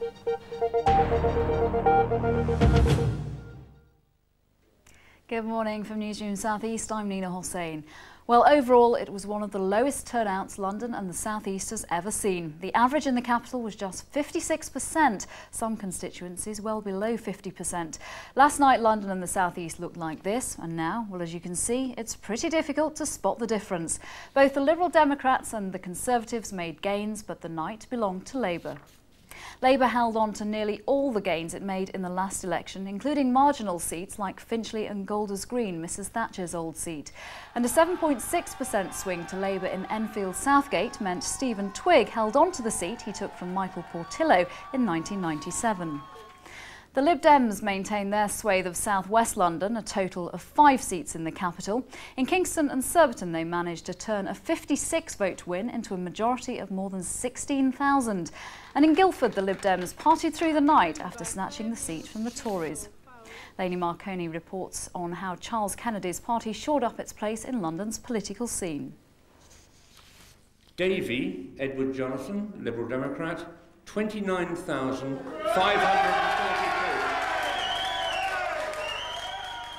A victorious night for Ed Davey as he's voted overwhelmingly as the Liberal Democrat MP. In 1997, Kingston and Surbiton had the smallest majority in London, just 56. Now it's seen a 24% increase in the vote.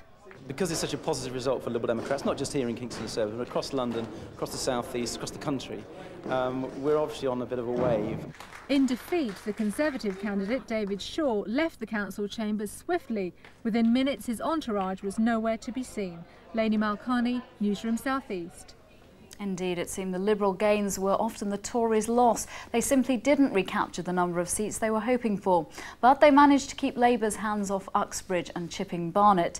Outside the capital, Martin Bell, the man in the white suit, was kept out of Parliament by the Brentwood and Ongar MP, Eric Pickles. But there were some games. The Conservatives did well in Essex, taking Romford and Upminster in the London borough of Havering and winning Castlepoint from Labour. In addition to deciding who will be their MPs, many areas have also been voting in local elections. Results on these polls will be declared throughout the morning and we'll have that information for you in our later programmes. Don't forget you can get all the latest analysis of the election results here in London and the South East in a special programme at 9 o'clock this morning. And if you can't get to a television, there's also coverage on London Live 94.9 on our website or on Ceefax page 170. Just before we go, we'll take a quick look at the weather. Early sunshine will give way to sunny intervals and some light showers. Temperatures should peak at highs of 18 Celsius. I'll be back in around 20 minutes time. Now though back to breakfast and Jeremy and Sophie. You're watching Breakfast from BBC News at 7.29. We're expecting William Hague to make a statement outside Conservative Central Office in the next few minutes. This is a scene in Smith Square now. We will be going live to William Hague as soon as he steps out of that door. But until then, we're going to Moira for a summary of this morning's main news. Good morning. Tony Blair has won an historic second term in office with another landslide majority. With some results still outstanding, the projected results show Labour being returned to power with a majority of 167, just 10 less than four years ago. Labour has won 413 seats and the Tories 164, so far the same number as in the previous election. The Liberal Democrats won 46, an increase of seven. Labour's share of the vote is about 43%, the Conservatives 33% and the Liberal Democrats 19. But the turnout was the worst since 1918 with only about 59% of people voting. The Prime Minister this morning joined party workers and stars for the celebrations at Millbank Tower, Labour's headquarters in London.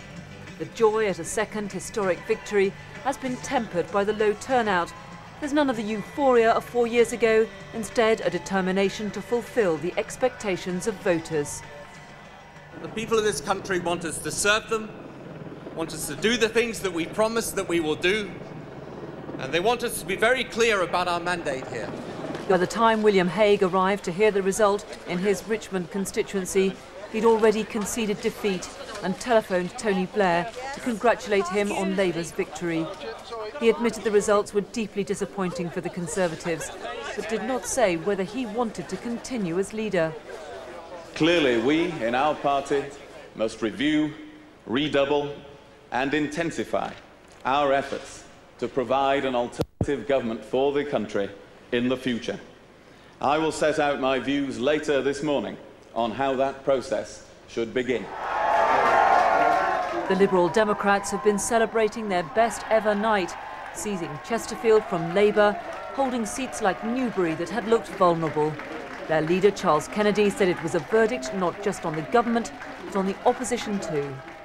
It is also a doubly historic night for the Liberal Democrats in that we have, in all likelihood, built on the amazing breakthroughs of four years ago, and we've taken ourselves further forward across Britain as a whole, and we are very much the party of the future for British politics. Begin! Tony Blair and his wife Cherie are now back inside number 10 Downing Street. It's thought the Prime Minister will begin work right away to appoint a new cabinet and to bring about wider changes in the way the government is run. Carol Walker, BBC News. And in other news this morning, eight Japanese children have been stabbed to death by a man wielding a knife who burst into their primary school. At least 20 other children, all aged between six and eight, were stabbed together with three teachers. The attacker is said to have made his way from classroom to classroom, slashing out indiscriminately with a kitchen knife. A 37-year-old man with a history of mental illness has been arrested by police. Here, James Lawson, the father who killed his mentally ill daughter, is due to be sentenced today at Maidstone Crown Court. He pleaded guilty in May to manslaughter with diminished responsibility after helping his suicidal daughter Sarah to end her life. Mr Lawson and his wife claimed their 22-year-old daughter was failed repeatedly by the National Health Service. In the United States, the federal appeals court has rejected Timothy McVeigh's request to delay his execution for the Oklahoma City bombing. He is due to die by a lethal injection on Monday, six years after 168 people were killed in America's worst act of terrorism. Timothy McVeigh's lawyer has said he will not ask the U.S. Supreme Court to delay the execution. The result of the Irish Republic's referendum on the European Union's Treaty of Nice will be known today. Irish voters have been asked whether they accept the treaty, which permits the enlargement of the European community. If they reject the treaty, it will be a serious obstacle to plans to allow more countries to join. Britain has seen one of the biggest falls worldwide in deaths from testicular cancer over the last two decades. Research published in The Lancet says early diagnosis and improved treatment are behind the 72% reduction since 1979. The figures were better than those of any other country apart from Sweden. A pitch invasion disrupted play in last night's England versus Pakistan cricket match at Edgbaston. The players were forced to leave the field for half an hour as thousands of Pakistan supporters swarmed onto the pitch, mistakenly believing the game had been won. It was the first incident of its kind at an international cricket match in Britain. That's the news for now. Back to Jeremy and Sophie. Laura, thanks very much. Breakfast TV at bbc.co.uk if you want to speak to us, as always, by email. and lots plenty of people of you do this morning. are trying, yep. We've had loads of emails already, lots about the uh, low turnout. One here from Ron Green who says, I was irritated by some of the comments from emailers about non-voters. I did not vote. It was my protest. How else can I protest? And Lynn Sis from St Albans, the poor turnout last night reflects the fact that people do not believe their voices are heard. Now into big letters, this country cries out for electoral reform, proportional representation. Lib Dem supporter there, I reckon. One here from Mike Day in Kent who says, could the media itself be partly to blame for the voters' apathy? Ever since the election was announced, an inordinate amount of TV and press coverage has been given over it, over to it. Of course, it's a very important issue, but many will feel that they have been saturated by politics. Stefan Osowski, all this talk of democracy being set aside by a poor turnout is untrue. We have a right to vote. It is up to every person so entitled to exercise that right if he or she desires. A decision not to vote is his or her democratic choice. And last one here, we'll get through as many as we can. We promised this morning, one here from Sally, and one Sally uh, Satkuranath. I'm one of many people who did not vote. The idea of making voting compulsory, I find undemocratic, she says. Well, our panel of video voters have told us how they voted and why.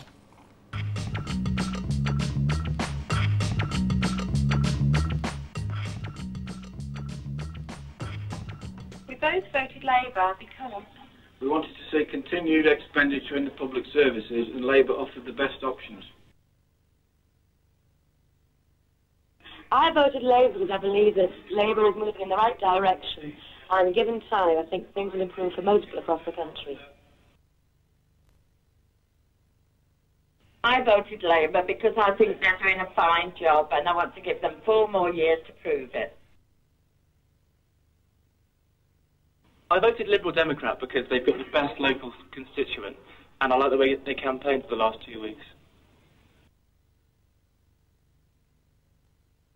We voted the SNP. And we voted SNP for Alex Salmond because he has a passion for his politics. Well, let's go now back to uh, Smith Square to Conservative Central Office. Our correspondent, Nick Robinson, is there. And William Hague, Nick, is expected to come out any moment now. Yes, we expect him any minute. I know that he's uh, been addressing Central Office troops inside, thanking them for the work he's done. I understand he did not tell all of the staff there what announcement he is about to make to the country and to the party. He merely thanked them for their work and then went into a series of smaller meetings with his key advisors. I mean, the truth is, Sophie, he has made as leader no progress at all in four years. He promised a fresh start for his party. He believed that if he removed the party's divisions on Europe by having a settled policy on the single currency, that would help. He believed if he changed the party's constitution, that would help too. He believed if he put forward, as he saw it, a more modern approach, that would help. None of it has, and therefore his future is, of course, in the balance.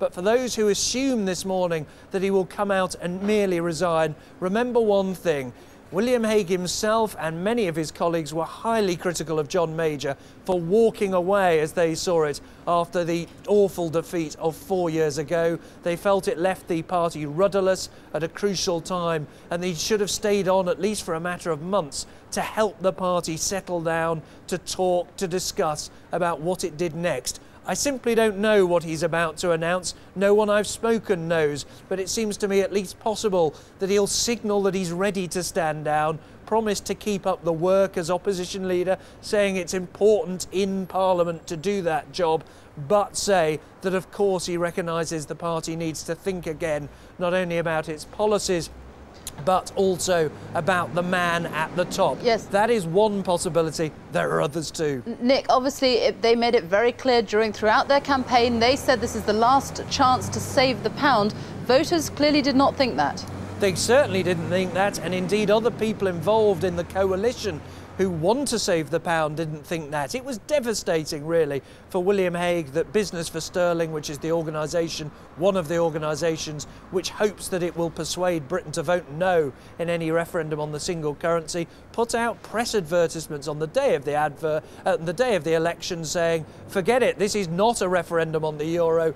Even though we disagree with Tony Blair on the euro, this election has got nothing to do with it." One of the reasons it would be terribly difficult for William Hague to fight on and say, "Look, I'll lead the campaign to save the pound," is that those other people in other parties, uh, in other interest groups who want to fight to save the pound, have effectively dumped him. They've said he is a liability for the campaign to save the pound. That's one reason he may have to go. The lack of progress for the Tory party, of course, is another. But this is not a party who's desperate to find a new leader. They're shell shocked this morning, Sophie. They don't really know why they've lost. Certainly, none of them believe they were going to win this election, but there were people critical of Hague as well as friendly to Hague, who insisted again and again when I spoke to them, it's better on the streets than it says in the polls. It really is. We're going to win seats. Some calculated as many as 50 seats. They thought particularly in areas like Essex, where they did make one or two gains, but in Kent, where they made none,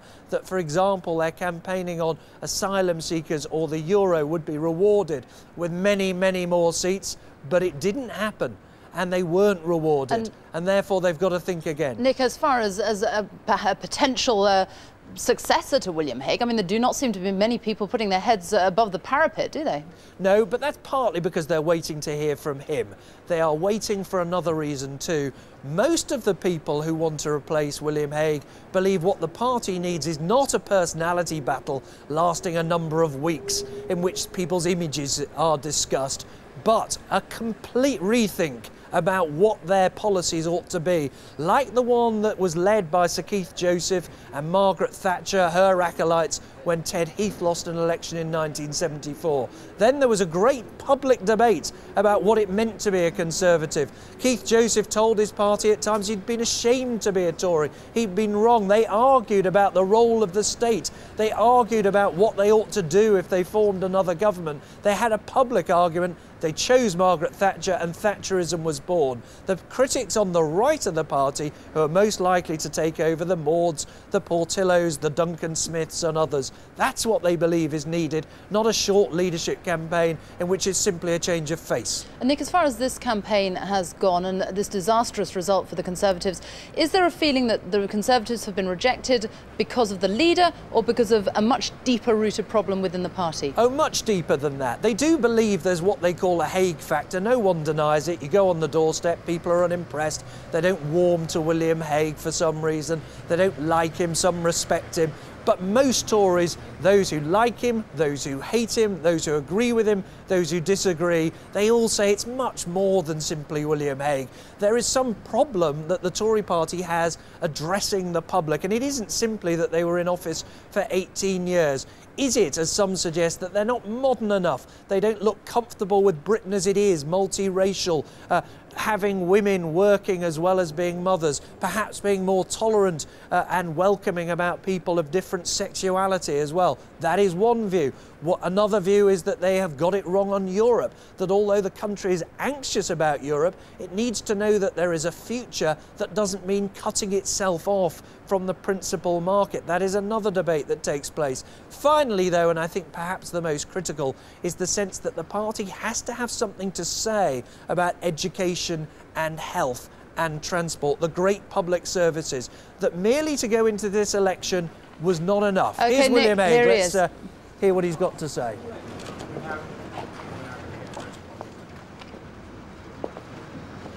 Good morning. Well, the people have spoken. And just as it is vital to encourage everyone to participate in our democracy, so it is important to understand and respect the result. It is important to be clear about the lessons for the Conservative Party. Some may be for debate in the future, others are already clear. Let the Labour Party have won the election, and I've already congratulated them on doing so. But they've done so without great public enthusiasm. The voters have given them the benefit of the doubt.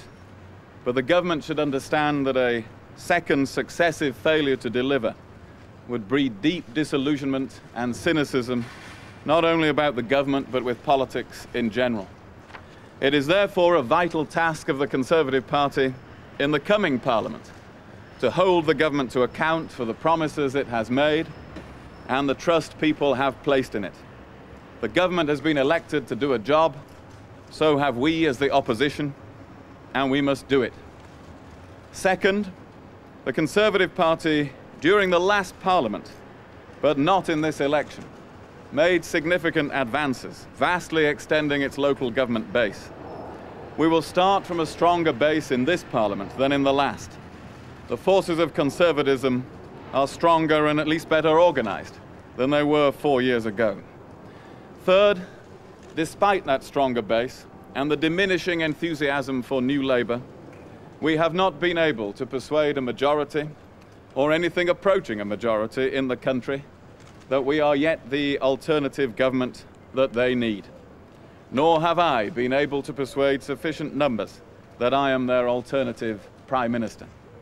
I believe that the next general election will be a far closer contest than the one just held. It is the overriding duty of our party to be not only effective in Parliament and rigorous in campaigning, but to present a leadership with the strongest possible credibility and appeal. In achieving that objective, no man or woman is indispensable, and no individual is more important than the party, and thereby the democratic health of our country. I've led this party for four years, have always considered it a great privilege, and have actually enjoyed every single day. I believe strongly, passionately in everything that I've fought for. But it's also vital for leaders to listen and parties to change. I believe it's vital that the party be given the chance to choose a leader who can build on my work, but also take new initiatives and hopefully command a larger personal following in the country. And I've therefore decided to step down as leader of the Conservative Party when a successor can be elected in the coming months. I will continue until that time to carry out the parliamentary and other duties of the leader of the opposition. Some colleagues have urged me to stay on for a period so that the party can reflect at greater length. But it will in any case take some weeks for a successor to be elected under our new leadership election rules, and the process cannot start until a new chairman of the 1922 committee has been chosen. A longer period would leave the party with a caretaker leadership for too long, and I believe a new leader must be elected in time to prepare for the party conference in October. I'd like to express my heartfelt thanks for the untiring efforts of my colleagues across the party who made it possible to fight a coherent, vigorous, and united, albeit unsuccessful, campaign. I'd like to express similar thanks to my staff, who have formed such a, an intensely loyal and professional team, and to Ffion, without whom I would not have had the strength to carry the last four years. And above all, to the many millions who voted Conservative yesterday, I wish I could have led you to victory. But now we must all work for our victories of the future. Thank you very much indeed. A very gracious speech there from Thank William you. Hague announcing that he is Thanks to step down in the coming months. So he is leaving the crowd with his wife, Ffion. Uh, and we are joined now by John Prescott, I think. John Prescott is going to be with us here. He's going to respond, I hope, to what, uh, to what Mr. Hague has just been saying. Mr. Prescott, do you have some personal compassion for Mr. Hague at this moment, for him, of a, a terrible moment for him, of course? Well, it's quite a traumatic moment, and I think uh, as the leader of the Conservative Party, he has suffered a tremendous defeat, and he's made that decision, and it's not for us to intrude on what is the private grief in the Tory party. We got a very emphatic mandate as the Labour government to get on with the job we started, and that's what we'll do from today onwards. Does it bring, bring you uh, back to those days of the 1980s when Labour had many election defeats? Yes, there are similar rings about it. Indeed, uh, parties have to go through these traumatic moments, I think, if they want to go through the process of change. It certainly happened in the Labour Party. But, you know, Mr Hague has made an honest decision as he sees the issue, and it's fair enough, and his party now must decide how they deal with the re-election of a new leader. But at the end of the day, our job is, after a tremendous victory that we've uh, achieved, is to get on with the job, as the Prime Minister said, and that's what we'll be doing from today onwards. Yes, let's talk about the next five years. Now, Mr. Blair knows what he has to do. We know what he has to do. The question is, can he do it? When he tries to pull those levers of power, are they going to respond? Well, yes, I think uh, Mr Hague was quite wrong to say we haven't delivered. I mean, that was part of their propaganda in this election, which clearly the electorate rejected. You know, the card I used to go around with about the hospitals, the health, the economy, etc. Uh, we did deliver on that, quite You haven't emphatically delivered on so. everything, though. You say you, Well, you what- said during what- the election you needed a second chance. Yes, but I mean, what do you mean we didn't deliver on all those five we had on that cart? We delivered, and uh, we. What I mean is there are plenty of things left on your agenda from your first term which you really have to get to grips with now. Yes, that is the message you've had from the I- electorate, I know, but not? please, please, you guys, if you want politics to have a, a real role to play, you must allow us to answer. I've made the point that on the cards and the pledges, we delivered on them. We've now produced another card, which they weren't prepared to do, about the increase in police, nurses, doctors, teachers, and uh, the, uh, the public clearly wanted that, and that's what we have to deliver on. We go around and we promise something, and in this government, the first period of a Labour government now, now entering into a historic second term, we delivered, and that's why we got the vote. It was quite an emphatic vote. Now, come the next election, people, though, are not going to be saying, look, the, the pledges on the card have been ticked off. What they're going to be looking at is just how they feel about the way life is in this country, especially in terms of the public services. At the moment, people feel pretty bad about it.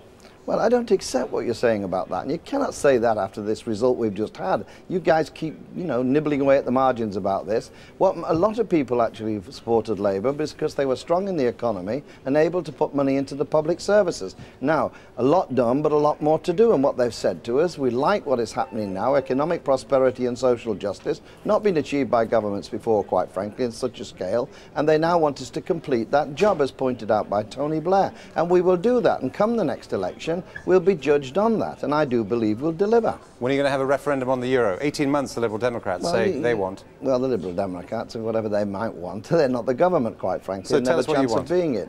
What we've said is that we'll judge it on the economic conditions. We were the ones that actually said there will be a referendum on this if we so decide that these conditions have been satisfied.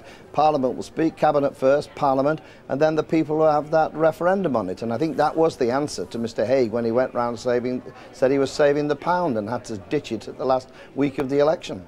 Okay, John Prescott, thanks for joining Thank us. you. Well, dramatic scenes there outside Conservative Central Office. Mr Hague has now left. Nick, where does this leave the party? Well, it leaves the party with a great yawning vacuum. I mean, William Hague is someone, let's just remember personally, who was interested in politics from his teens, spoke at the age of 16. He becomes one of the first, there's been one other, Austen Chamberlain, Tory leaders never to become Prime Minister. He's given up now. The party has to elect the chairman of its backbench committee, it's called the 1922, and, and then starts a party leadership contest, which could take some weeks yet. But who wants the job? Exactly. Who who are the main contenders? Michael Portillo must be one of them. Well, must be one of them if he wants the job. And we're going to have to add that sentence to every single name we come up with, Sophie. All the conversations we've had about who might do this job were people who expected their party to make some progress and thought, OK, it's going to be tough, but I'll have a fair shot at becoming Prime Minister at the next election. You simply cannot argue that now. No party, as we know in advance of the election we've just had. No party has ever overturned a majority of this size. They are precisely where they were four years ago, and yet they've had four wasted years, some may say years going backwards. So who wants the job? Let's just go through those runners. Yes, of course, Michael Portillo, but he, I know, is personally very nervous of the personal toll that will be taken, the references back to his homosexual past, the attacks that have been on him already in the Sun newspaper, sometimes in the Telegraph and the Mail as well. Then there'll be others. Will there be Ann Widdecombe? Will there be Iain Duncan Smith and Francis Maude? Remember this, though, it's different from four years ago. The MPs get to choose two, and then that goes to every single member of the Conservative Party. It's going to be dramatic. It certainly has been already. Nick, thank you. We're back at 8 with the latest national picture. For now, though, we join the BBC's news teams across the UK.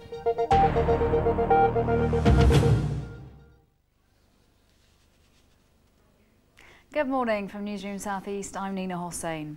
Well, overall, it was one of the lowest turnouts London and the Southeast has ever seen. The average in the capital was just 56%, some constituencies well below 50%. Last night, London and the Southeast looked like this, and now, well, as you can see, it's pretty difficult to spot the difference. Both the Liberal Democrats and the Conservatives made gains, but the night belonged to Labour. The Lib Dems maintain their swathe of southwest London, a total of six seats in the capital.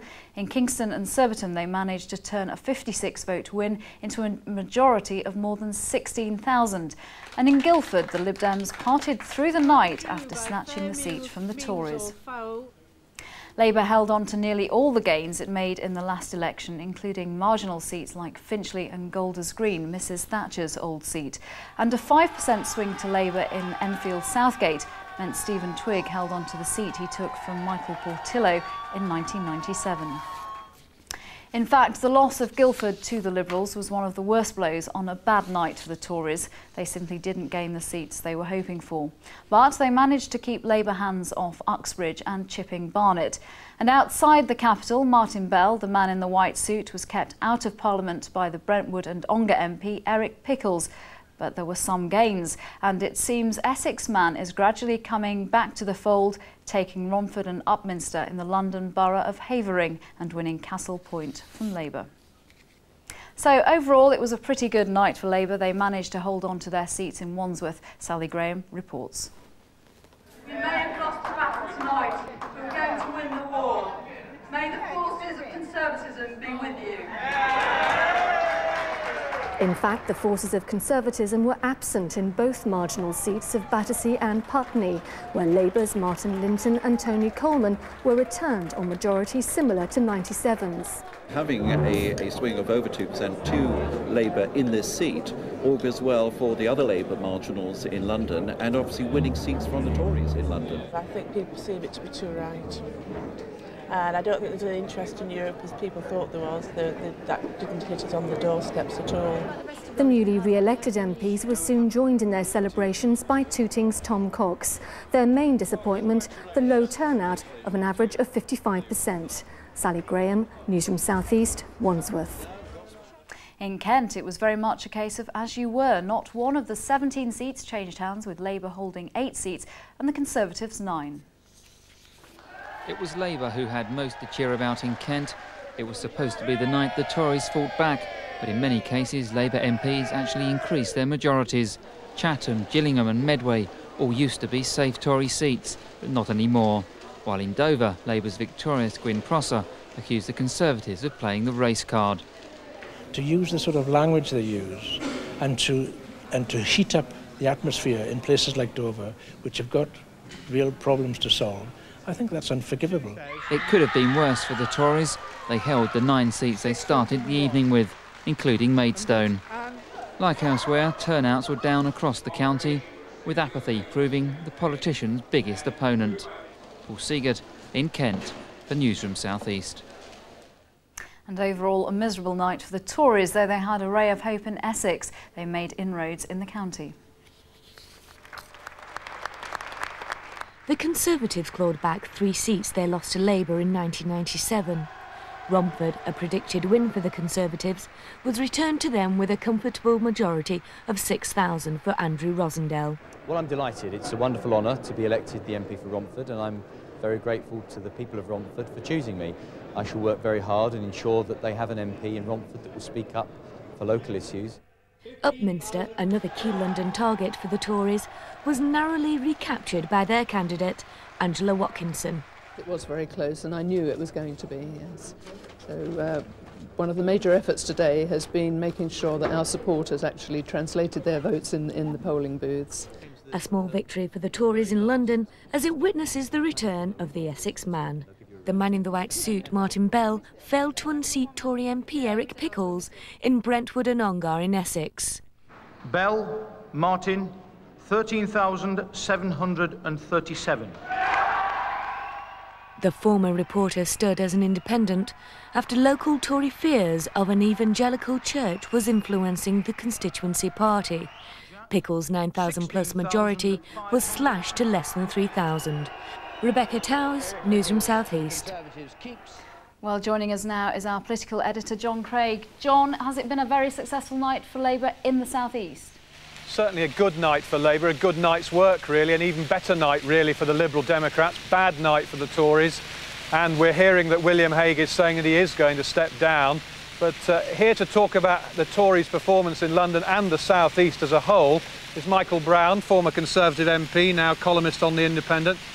Michael, why do you think the Tories have failed to make the gains that they hoped to make in London and the South East?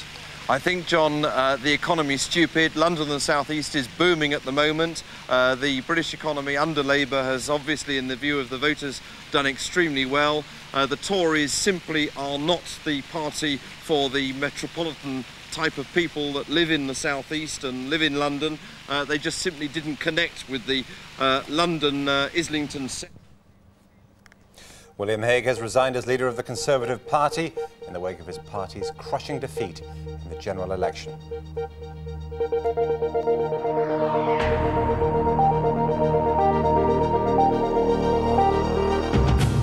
And I've therefore decided to step down as leader of the Conservative Party when a successor can be elected in the coming months. I will continue until that time to carry out the parliamentary and other duties of the Leader of the Opposition. Good morning. Welcome to the programme with Sophie Raworth and Jeremy Bowen. Friday, June the 8th. These are the headlines this morning. The Conservative Party is looking for a new leader after another landslide for Labour. Mr Hague said he regretted he had been unable to persuade the British people to support his policies. Tony Blair's projected majority of 167 is the biggest ever achieved by a governing party. Charles Kennedy's Liberal Democrats get their highest number of seats since 1929. But turnout is the lowest since 1918. Just a few hours after Labour secured a second consecutive full term with a massive majority, William Hague took the decision to step down as leader of the Conservative Party.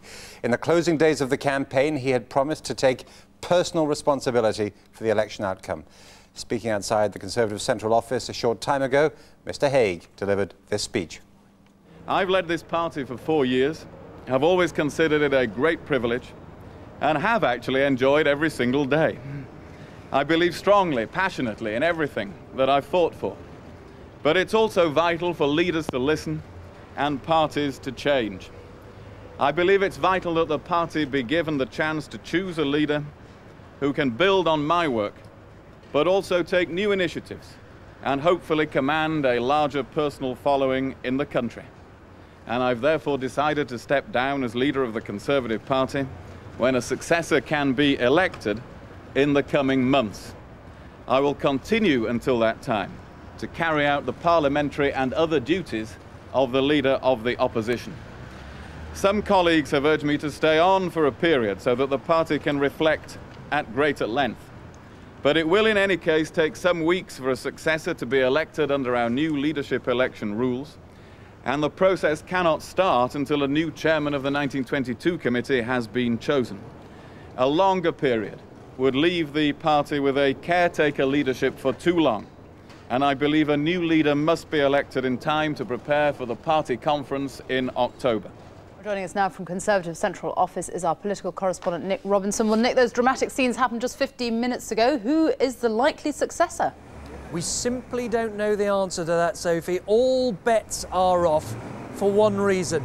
No one expected to wake up this morning and found that the Conservative Party had gone precisely nowhere in four years. To be in exactly the same position, even though they weren't in government, even though objectively they'd not been so divided, even though many people thought they'd fought a competent campaign, no one expected that. So it's not just a question of who the Conservative Party will want to lead it, but who would want the job, particularly when they might never become Prime Minister, just as William Hague has had to lead his party through four years of criticism and never become Prime Minister. Of course, we know the top names Michael Portillo. Will he want the job, though, given the personal criticism he's come under from the Tory right for having shifted his views and for his homosexual past? Will he want it? Ann Widdecombe, will she want it?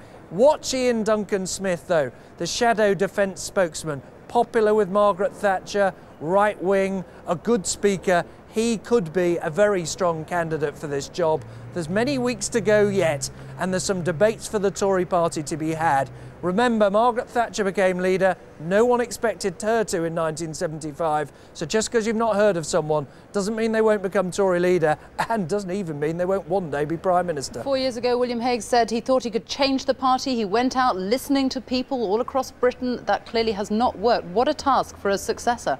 Well, exactly what a task. He believed, you see, that it was about division in part, and therefore he came up with a new policy on the euro that 70 or 80% of his party could agree with and ensured that he only appointed people to his front bench that agreed to. He thought it was also about having a new, more modern party organisation, and he thought it was about not having been in office because people had grown sick of them. Now most Tories agree it's something much, much more fundamental than that, that Labour now is posing in exactly way the Tories did as the economically competent party, as the competent that cares, as Tony Blair always puts it, as well as is competent. And they know, these Tories, that they have to get back on that ground. They have on health and education and transport to look as though they've got better ways of solving the problems of those great public services than Labour. They know they've got to look as though they're in touch with Britain as it is. Uh, happy for women to work as well, well as to be mothers, happy for Britain to be multiracial, happy too that there are people of different sexual orientations. Those are the tasks for a new Tory leader, as well as keeping all those people who like the Tory party as it is, not alienating them. It's no easy task. Nick Robinson outside Conservative Central Office, thank you. The Deputy Prime Minister John Prescott said it was a sad moment for the Conservative Party, but that shouldn't distract from the government's victory.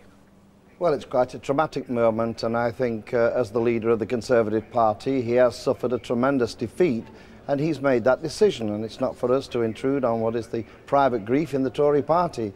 We got a very emphatic mandate as the Labour government to get on with the job we started, and that's what we'll do from today onwards. Well, with some results still outstanding, the projected results show Labour being returned to power with a majority of 167. That's just 10 less than four years ago. Labour has won 413 seats. The Tories 164 so far, the same number as the last election. And the Liberal Democrats 47. That's an increase of seven on the last time. Labour's share of the vote is around 42%, the Conservatives 33%, and the Liberal Democrats 19%. But the turnout was the worst since 1918. Only around 59% of people turned out to vote. This morning we'll be an analysing the results, talking to leading figures in the main parties and bringing you election news from your area. First, this report from Breakfast's political correspondent, Carol Walker. Tony Blair received a hero's welcome from party workers and stars at Millbank Tower, Labour's headquarters. He's achieved the historic second term, which has been his burning ambition since he became Prime Minister, and says he's won the battle of ideas. But the joy at victory is tempered by the warning signals of the low turnout, and there is none of the euphoria of four years ago. Instead, he's stressing that Labour must now fulfil the expectations of the voters. Now is the time that the people of this country want us to serve them, want us to do the things that we promised that we will do, and they want us to be very clear about our mandate here. Our mandate is to carry on the work that we started, to be sure that on the foundation of a strong economy delivered by a brilliant Chancellor, that we end up investing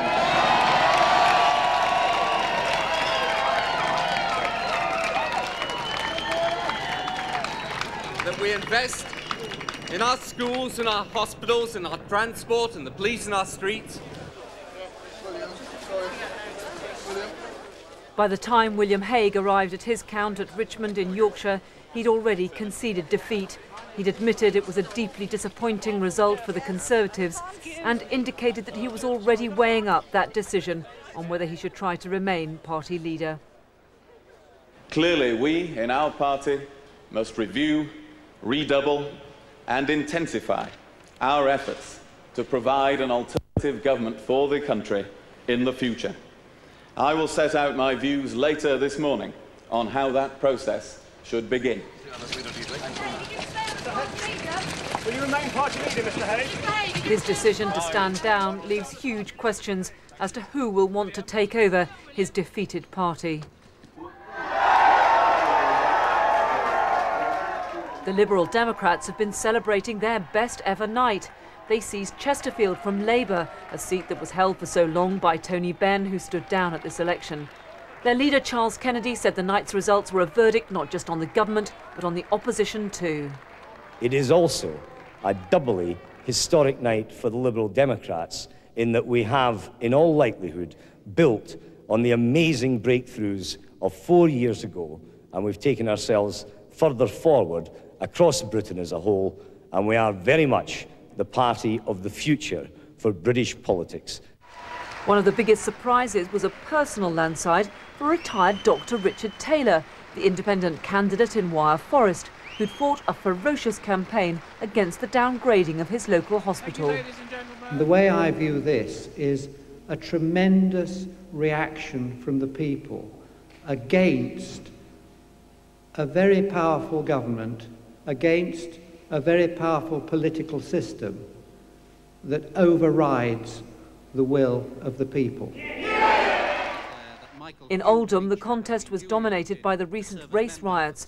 Though the Environment Minister Michael Meacher held Oldham West and Royton, Nick Griffin of the British National Party won a record 16% of the vote. Candidates were banned from making speeches for fear of inflaming local tension, but Mr Griffin later claimed the result represented a protest by white people against racist attacks. At Brentwood and Ongar in Essex, the former BBC correspondent Martin Bell failed to unseat the Tory Eric Pickles. The man in the white suit who famously defeated Neil Hamilton in Tatton at the last election is out of Parliament. But Shaun Woodward, who famously defected from the Conservatives and has been given a rough ride in St Helens, held the seat comfortably for Labour. In Hartlepool, Peter Mandelson also enjoyed a substantial majority. The close friend of the Prime Minister, twice forced to leave the cabinet, spoke of the inner steel that had helped him through when opponents said he was facing political oblivion. They underestimated Hartlepool and they underestimated me because I am a fighter and not a quitter. Tony Blair and his wife Cherie are now back inside number 10 Downing Street. While the Conservatives seek a new leader to lift them from the political doldrums, the Prime Minister is beginning work to appoint his new cabinet and bring about wider changes to the way his government is run. Carol Walker, BBC News. Well, in Scotland, the Conservatives have failed to... The party should consider they had a leasehold, not a freehold, of this constituency. And indeed, that is what it is, but the lease is lasting slightly longer uh, than I would have preferred. The Tories also fell to win targeted seats in Ayr and in Eastwood. But Galloway and Upper Nithsdale, the part of Scotland worst hit by foot and mouth disease, did give the Tories a taste of success. It came after a recount. Another recount in Perth saw the Scottish Nationalists beat the Conservatives by just 48 votes. The SNP have confirmed uh, as the second party of Scotland, and that gives us a, a platform on which to advance to the Scottish parliamentary elections in two years' time. The Liberal Democrats had a successful night, holding on to their strongholds in the Highlands and the borders. But it was Labour's night, keeping their tight grip on Scotland. Asad Ahmed, BBC News. Labour's success across the UK was reflected in Wales, where it's just lost one of the seats it won in 1997. The political map of Wales has changed little, with Labour taking 34 seats, Plaid Cymru 4 and the Liberal Democrats 2. Monmouth, the Conservatives' number one target in Wales, was held by Labour. The Tories again have no seats in Wales.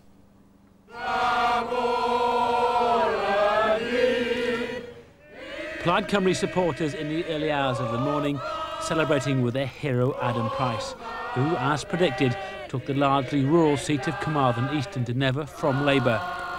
But that victory at the end of a long night was as good as it got for the Welsh nationalists. Earlier they lost Ynys Môn, the Isle of Anglesey, to Labour. A huge shock and a clear sign that the expected Plaid Cymru surge on the back of Welsh Assembly successes two years ago wasn't going to happen. The Rhondda, Caerphilly and Islwyn, all Labour strongholds in the South Wales valleys, where Plaid Cymru had put in so much effort, stayed under Labour control, albeit with reduced majorities with the Liberal Democrats doing well to hang on to the two rural seats of Montgomery and Brecon and Radnorshire. The big losers again in Wales are the Conservatives. Humiliatingly, by failing to take Monmouth, Wales has again failed to return a single Tory MP to Westminster. So Wales comes out of this election almost exactly as it went in. The Plaid Cymru challenge in the South Wales valleys never really materialised. The Tories still have no MPs in Wales, and Labour is still very much dominant. Wyre Davies, BBC News, Cardiff Bay. Meanwhile, two RUC officers and a woman were injured last night after a gunman fired on a polling station at Draperstown in County Londonderry. It's understood the police fired one shot, but the attacker managed to escape by car. One of the RUC officers was wounded in the shoulder. His colleague was hit in the arm and the woman was shot in the leg. It's believed a Republican dissident group was to blame for the attack. And a reminder of the main news. William Hague has resigned as leader of the Conservatives. Meanwhile, the Prime Minister, Tony Blair, is back in London after returning from his Sedgefield constituency early this morning.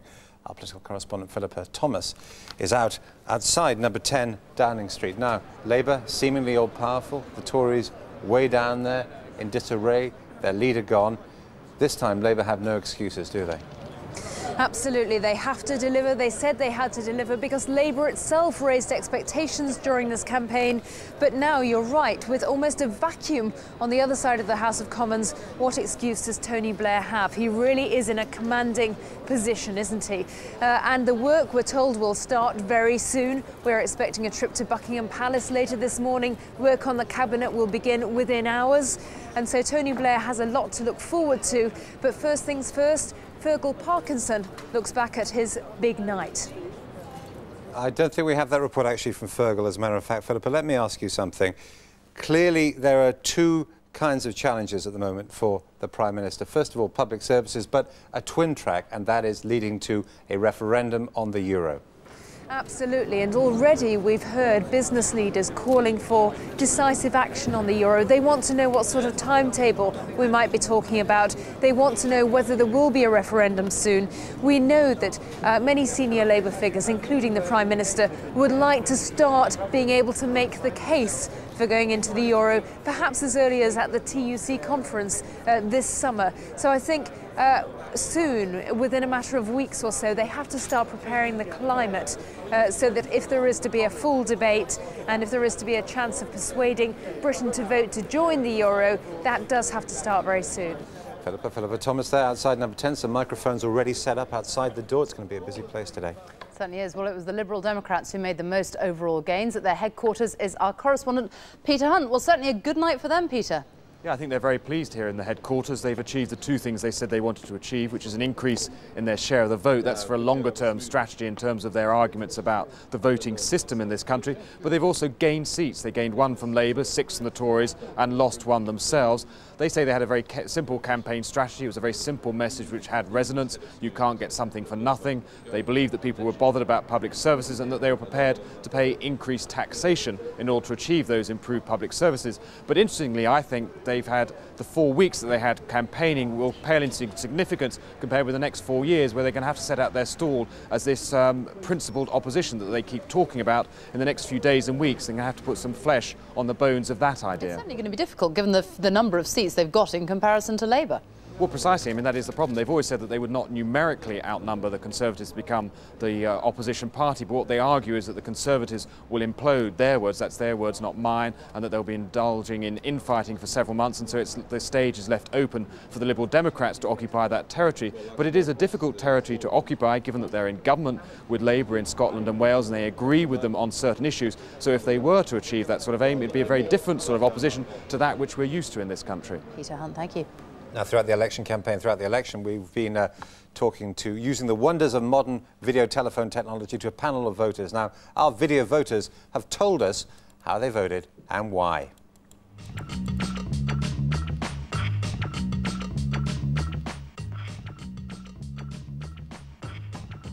I voted Labour because Rome wasn't built in a day and they deserve another four years. I voted for Liberal Democrats because living in a safe Labour seat, I wanted to push for proportional representation. I voted New Labour to give them a second chance to see whether I can trust them in future, although I've been more agreement with Lib Dem proposals.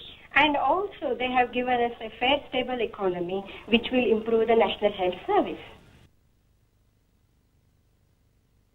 I voted Liberal Democrat because I'm strongly in favour of Europe and uh, liberal attitude to social policies. And I'm appalled by the conservative attitudes to Europe, immigration and social policy. And your emails have been flooding into our usual address, breakfasttv at bbc.co.uk, a lot of them about people who didn't vote. Bill Morris, I have his message here on my screen, says, uh, I hope all those who choose not to vote don't whinge and whine about the state of the country. My belief is if you don't vote, you should lose the right to vote.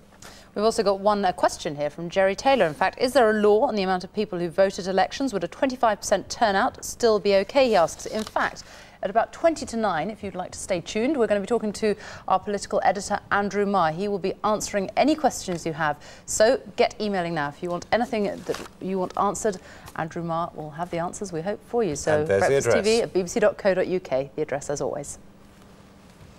Now, no election coverage is complete, of course, without Peter Snow, and this year he has excelled himself with his virtual reality graphics. He's been looking at how the Conservatives have failed to make any inroads into Labour's huge majority. What an extraordinary night has been. There is William Hague with his ambition to climb these steps over all these seats of his opponents, up to number 10 and open the door. This is what happened in these seats. These are the Conservative Party's target seats. This is what happened, and this is our forecast, our final forecast of what happened. Only a very few of them, as you can see, going blue, all the other ones holding out. And when we bunch them all together, you can see because of the losses to the Liberal Democrats the Tories have made, they've only got one net gain down the bottom there. And we put that down now uh, in front of William Hague. And you will see that he is only managing to climb up the first step. Hardly managing to get up the first step.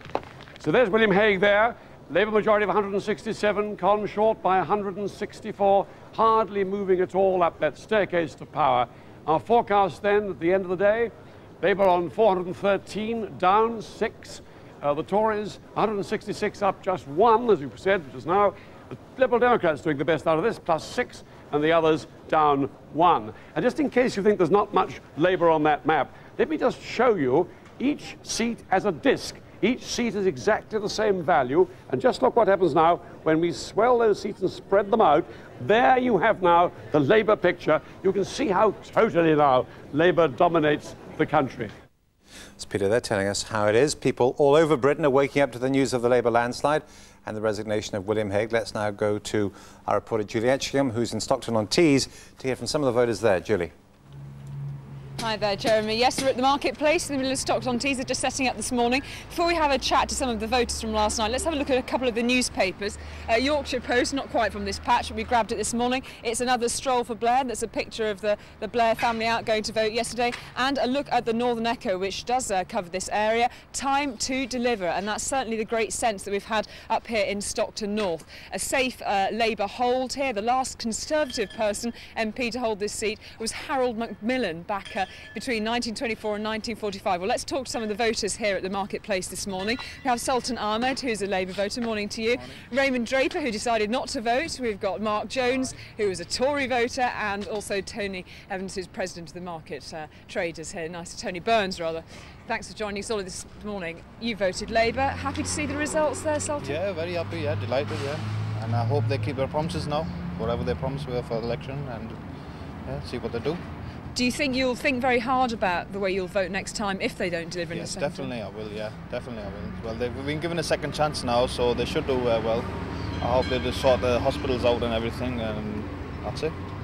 Um, uh, Raymond, if I can turn to you, the turnout here was down by some 14% in Stockton North. Yeah. You didn't bother to vote. Why not? Well, I feel that uh, by voting, uh, I'm just making myself look a fool because I have no real faith in the policies that the Labour government have, and also that uh, if voting really could change anything, they'd make it illegal.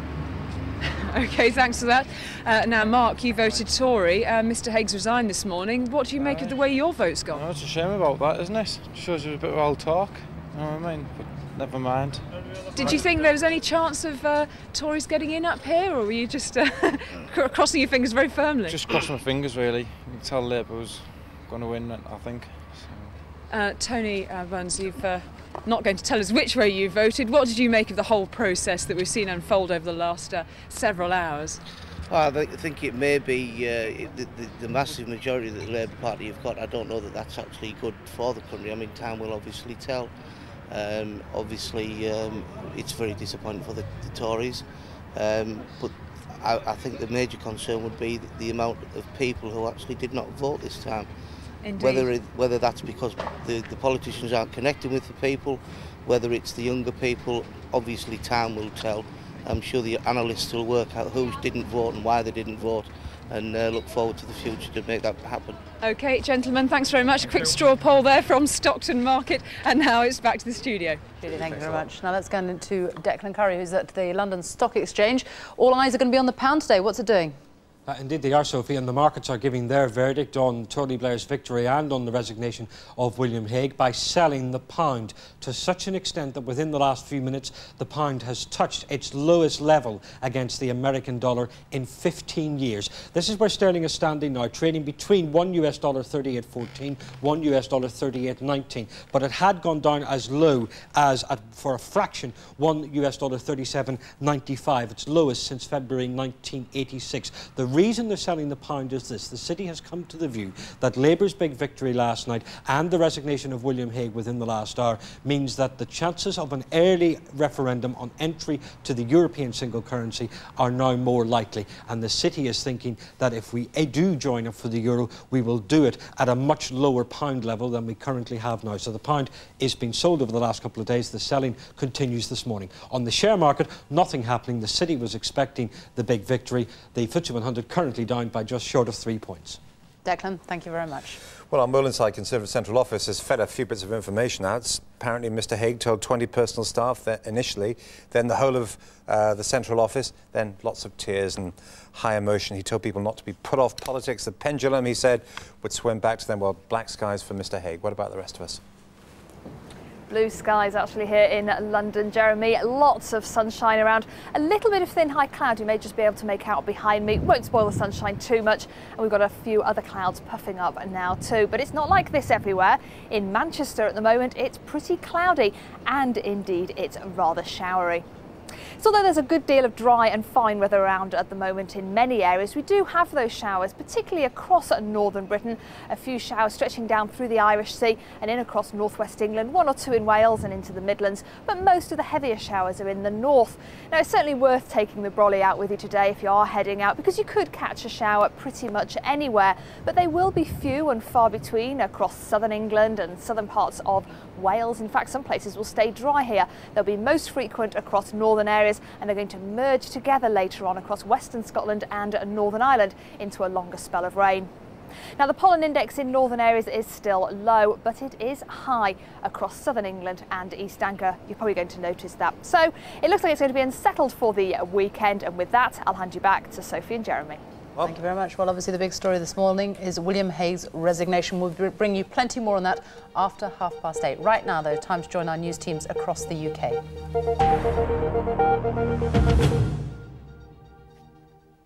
Good morning from Newsroom South East. I'm Nina Hossain.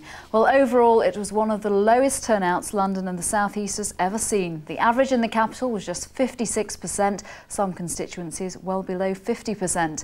Last night, London and the South East looked like this, and now, well, as you can probably see, it's pretty difficult to spot the difference. Both the Liberal Democrats and the Conservatives made gains, but the night belonged to Labour. Labour held on to nearly all the gains it made in the last election, including marginal seats like Finchley and Golders Green, Mrs Thatcher's old seat. And a swing to Labour in Enfield Southgate meant Stephen Twigg held on to the seat he took from Michael Portillo in 1997.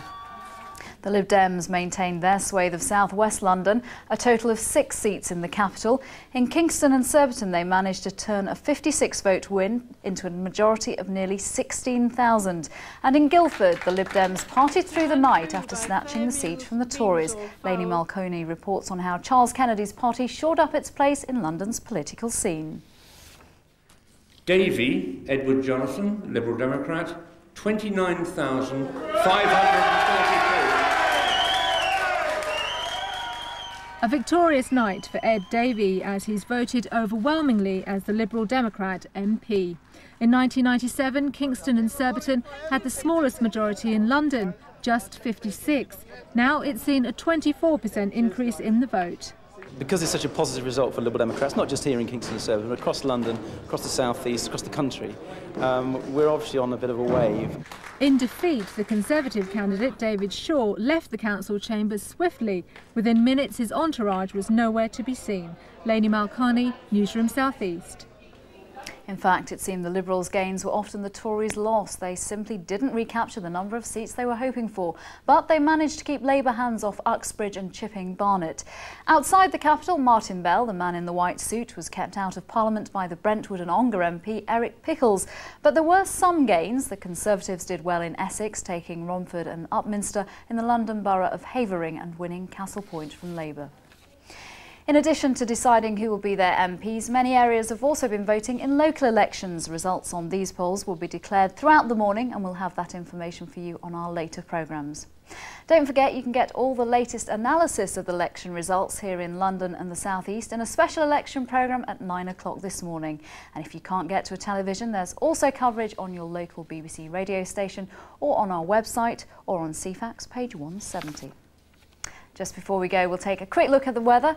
Early sunshine will give way to sunny intervals and some light showers. Temperatures should peak at highs of around 18 Celsius. We'll be back in half an hour with that election special. Now though, back to breakfast and Jeremy and Sophie.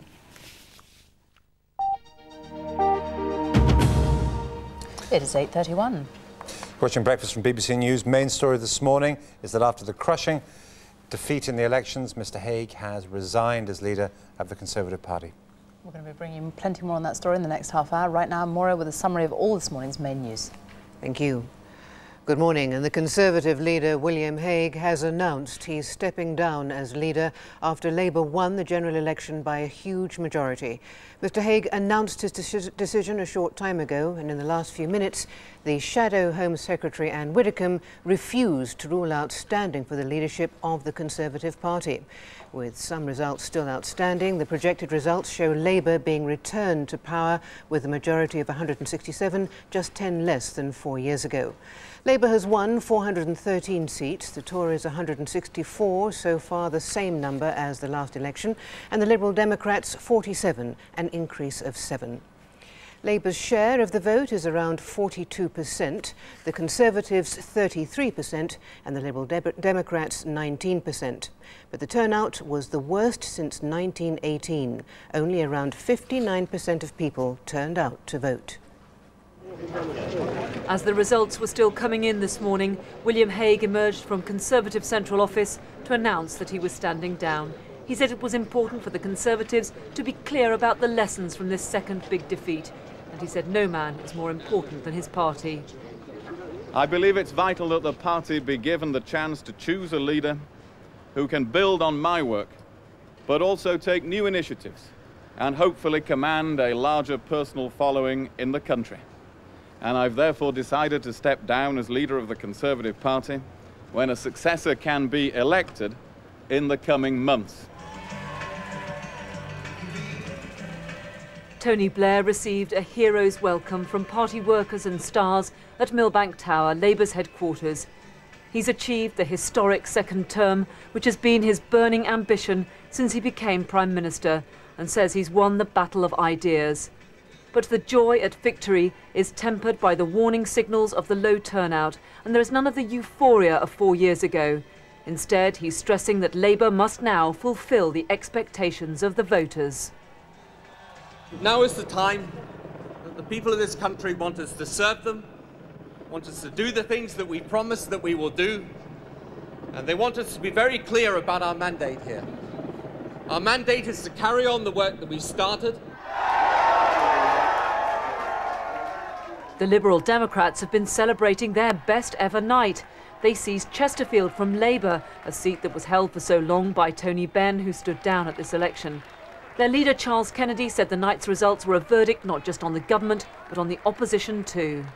It is also a doubly historic night for the Liberal Democrats in that we have, in all likelihood, built on the amazing breakthroughs of four years ago, and we've taken ourselves further forward across Britain as a whole, and we are very much the party of the future for British politics. When does the work begin? Tony Blair and his wife Cherie are now back inside number 10 Downing Street. While the Conservatives seek a new leader to lift them from the political doldrums, the Prime Minister is beginning work to appoint his new cabinet and bring about wider changes to the way his government is run. Carol Walker, BBC News. In other news this morning, eight Japanese children have been stabbed to death by a man wielding a knife who burst into their primary school. At least 20 other children, all aged between six and eight, were stabbed together with three teachers. The attacker is said to have made his way from classroom to classroom, slashing out indiscriminately with a kitchen knife. Police have arrested a 37-year-old man with a history of mental illness. James Lawson, the father who killed his mentally ill daughter, is due to be sentenced today at Maidstone Crown Court. He pleaded guilty in May to manslaughter with diminished responsibility after helping his suicidal daughter Sarah to end her life. Mr Lawson and his wife claimed their 22-year-old daughter was failed repeatedly by the National Health Service. The FBI is investigating incidents of alleged sabotage of Boeing 737 passenger planes at a factory near Seattle. The company has stepped up security at the plant after discovering at least 10 incidents of suspicious damage to aircraft under construction. Last year, Boeing fought a bitter industrial dispute with its engineers, and in March, the company announced it would be moving its headquarters to Chicago. Well, in the United States, a federal appeals court has rejected Timothy McVeigh's request to delay his execution for the Oklahoma City bombing. He's due to die by lethal injection on Monday, six years after the bombing in which 168 people were killed. His lawyer has said McVeigh will not ask the U.S. Supreme Court to delay the execution. The result of the Irish Republic's referendum on the European Union's Treaty of Nice will be known today.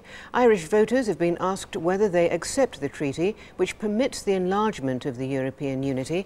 If they reject, it'll be a serious blow to plans to allow more countries to join the EU. A pitch invasion disrupted play in last night's England versus Pakistan cricket match at Edgbaston. The players were forced to leave the field for half an hour as thousands of Pakistan supporters swarmed onto the pitch, mistakenly believing the game had been won. It was the first incident of its kind at an international cricket match in Britain. And that's the news for now. Back to Jeremy and Sophie. Laura, thank you very much. More now on William Hague's decision to step down as Tory leader. The former Conservative Home Secretary and European Commission Vice President, Lord Brittan, joins us now from Westminster. Good morning. Good morning. Are you surprised? Uh, not surprised, knowing uh, him as well as I do. He was, after all, my successor. I know he's a, a, a man of uh, strong personal judgment and determination, and uh, he makes up his mind and he does what he thinks is right and he does it quickly. And I think we have to respect that, even those of us who, who, who would have thought uh, that uh, a longer period of reflection would be better uh, to choose the right person to succeed him if he was going to go. But I think we have to thank him for the uh, strong campaign that he fought, even though I, of course, disagreed on aspects of it, in particular the European side of it, uh, and wish him well, whatever he does now. Is having such a short time to find a successor going to be damaging to the party, more damaging to the party? Uh, it doesn't have to be damaging to the party. I think to choose a, a, new leader at a time of shock is more difficult than to do so after a time of reflection. I think that what we have to do quickly, more quickly perhaps than is ideal now, is to learn the lessons of the election and then choose the right person to apply them. So I'd focus first, even in the few short weeks that we have before the leadership election, on what those lessons should be uh, and then uh, choose the leader in the light of that rather than start hawking personalities uh, today. So what do you think the lessons are then? I mean, there is not well, much time to reflect, is there? No, there's a few weeks. You'd be surprised how quickly politicians can act. The main lesson is that the European, the Eurosceptic card was played for all it was worth in this election and uh, it was very easily trumped. Uh, the Liberal Democrats, uh, on the other hand, were the most pro-European party in favour of joining the single currency, and they gained votes and they gained seats. And I think we've got to realise that although uh, public opinion polls show a majority against joining the euro, that's a very soft view. People are strongly in favour of membership of the European Union. We have to start from scratch and recognise that Conservative Party was the party of Europe. It took Euro Britain into the European Union. And I've seen from my experience as a commissioner that handled the right way, it is possible to get the European Union to move in a direction with which British and British Conservatives are comfortable. On it should be seen as an opportunity and not a threat. On a personal note for William Hague, this is obviously going to be a bitter, bitter disappointment for him. I mean, how hard has it been for him over the past four years? He, he has toughed it out all the way along, hasn't he? He's been a good performer in the Commons and everything, but how difficult has it been? It's been extremely difficult, and I think he deserves great respect for the way in which he did stand up to Tony Blair very effectively in the House of Commons, and the way in which during this election campaign the odds were against him, he never gave up and full marks for that. I think it's a, a, great credit to him. He's a very tough and doughty campaigner, there's no question about that. He inherited a situation in which the Conservative Party had suffered a historic defeat. It was always going to be a very uphill struggle to get the party going on the road back again. And I think uh, he, he really has had a very difficult time. And I think one has to respect that and thank him for what he has done. What do you think he can do next? I mean, he's still very young and he's an ambitious man. Well, he's only uh, announced his res resignation about half an hour. I think you ought to give him uh, a little longer before casting him in new roles. But he's going to be wanting to do something pretty uh, important, isn't he? I mean, he's not going to want to sort of stand by and sit watching from the sidelines. Well, uh, I think uh, he'll have to decide exactly what he does want to do, but obviously he has huge ability, and I'm sure that that ability will be utilised, uh, and uh, obviously he's got a, a, lot to give the country uh, and a lot to achieve for himself. but for the moment, I think we ought to respect, even if we regret, the decision that he's taken. Lord Brittan, thank you. Joining us now from Conservative Central Office is our chief political correspondent, Nick Robinson. Uh, Nick, talk of tears inside Central Office this morning. They really didn't think it was going to be this bad, did they? They certainly didn't. It's like a political bereavement here, Jeremy. They simply did not expect this to happen. They didn't expect that the party they've come to regard as a natural party of government simply loaning Downing Street to the Labour Party for four short years. They simply didn't believe that the electorate would snub them again. Yes, they didn't think they'd win, but they did think they would make some gains. Many thought as many as 50. They certainly didn't believe they would wake up this morning to discover that the leader, who they've grown to respect for his grit, for his courage, for his determination, would also be leaving them. Nobody here can quite believe it. There are tears, there are looks of disbelief, there are people scratching their heads, wondering what on earth they can do next. Partly, they have to think about their ex leader, soon to be, William Hague. Our political correspondent Shaun Ley now looks back at the political career of William Jefferson Hague.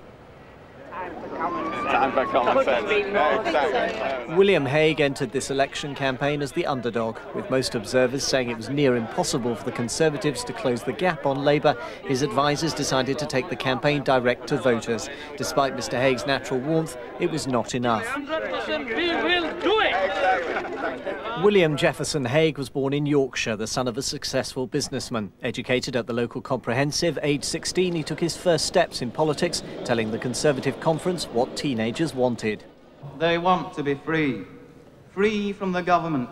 The government, they think, should get out of the way. Don't intervene, don't interfere in their lives. The schoolboy could name every MP and their constituency. Twelve years later, he was one of them, entering the Commons in a by-election. Thereafter, progress was rapid. He backed John Major to succeed Lady Thatcher, was rewarded with a ministerial job, and in 1995 entered the Cabinet as Secretary of State for Wales.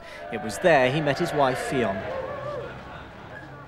When the election defeat robbed the party of obvious successors to John Major, William Hague put himself forward as leader of the next generation of Tories, receiving the endorsement of Lady Thatcher. Acutely conscious that Tory membership was ageing and declining, Mr Hague launched a series of reforms and tried to promote a more modern and inclusive image of conservatism. More successful was a visit to the Notting Hill Carnival. People like to attach labels to you. There's the boy wonder. There's the young upstart. There's the young pretender. I think I can live with that. But the big challenge to Mr Hague came from the return to Parliament of Michael Portillo. Once the darling of the right, he too was now pushing an inclusive, socially liberal form of conservatism. At the same time, Conservative success in the European Parliament elections suggested there was electoral value in a more traditional agenda, notably a hard line over the European single currency. I want us to be absolutely clear. We keep the pound. That became a core theme in the general election, but it allowed Mr Hague's critics to accuse him of moving away from the centre ground of British politics. Ironically, it was the man seen as his chief rival who offered the warmest assessment of his leadership talents. Did anybody expect the vivacity, the energy, the sparkle with which he's performed all the way through this campaign? It's said that life begins at 40, the age at which William Hague's frontline career in politics may be over. He's only the second Tory leader in more than 100 years not to have reached Downing Street. Shaun Ley, BBC News. Well, political career there, thus far anyway, of William Hague. Uh, Nick, uh, outside Central Office, uh, I don't really expect you to ask this, answer this question, but give us a few pointers if you can. Who and what comes next?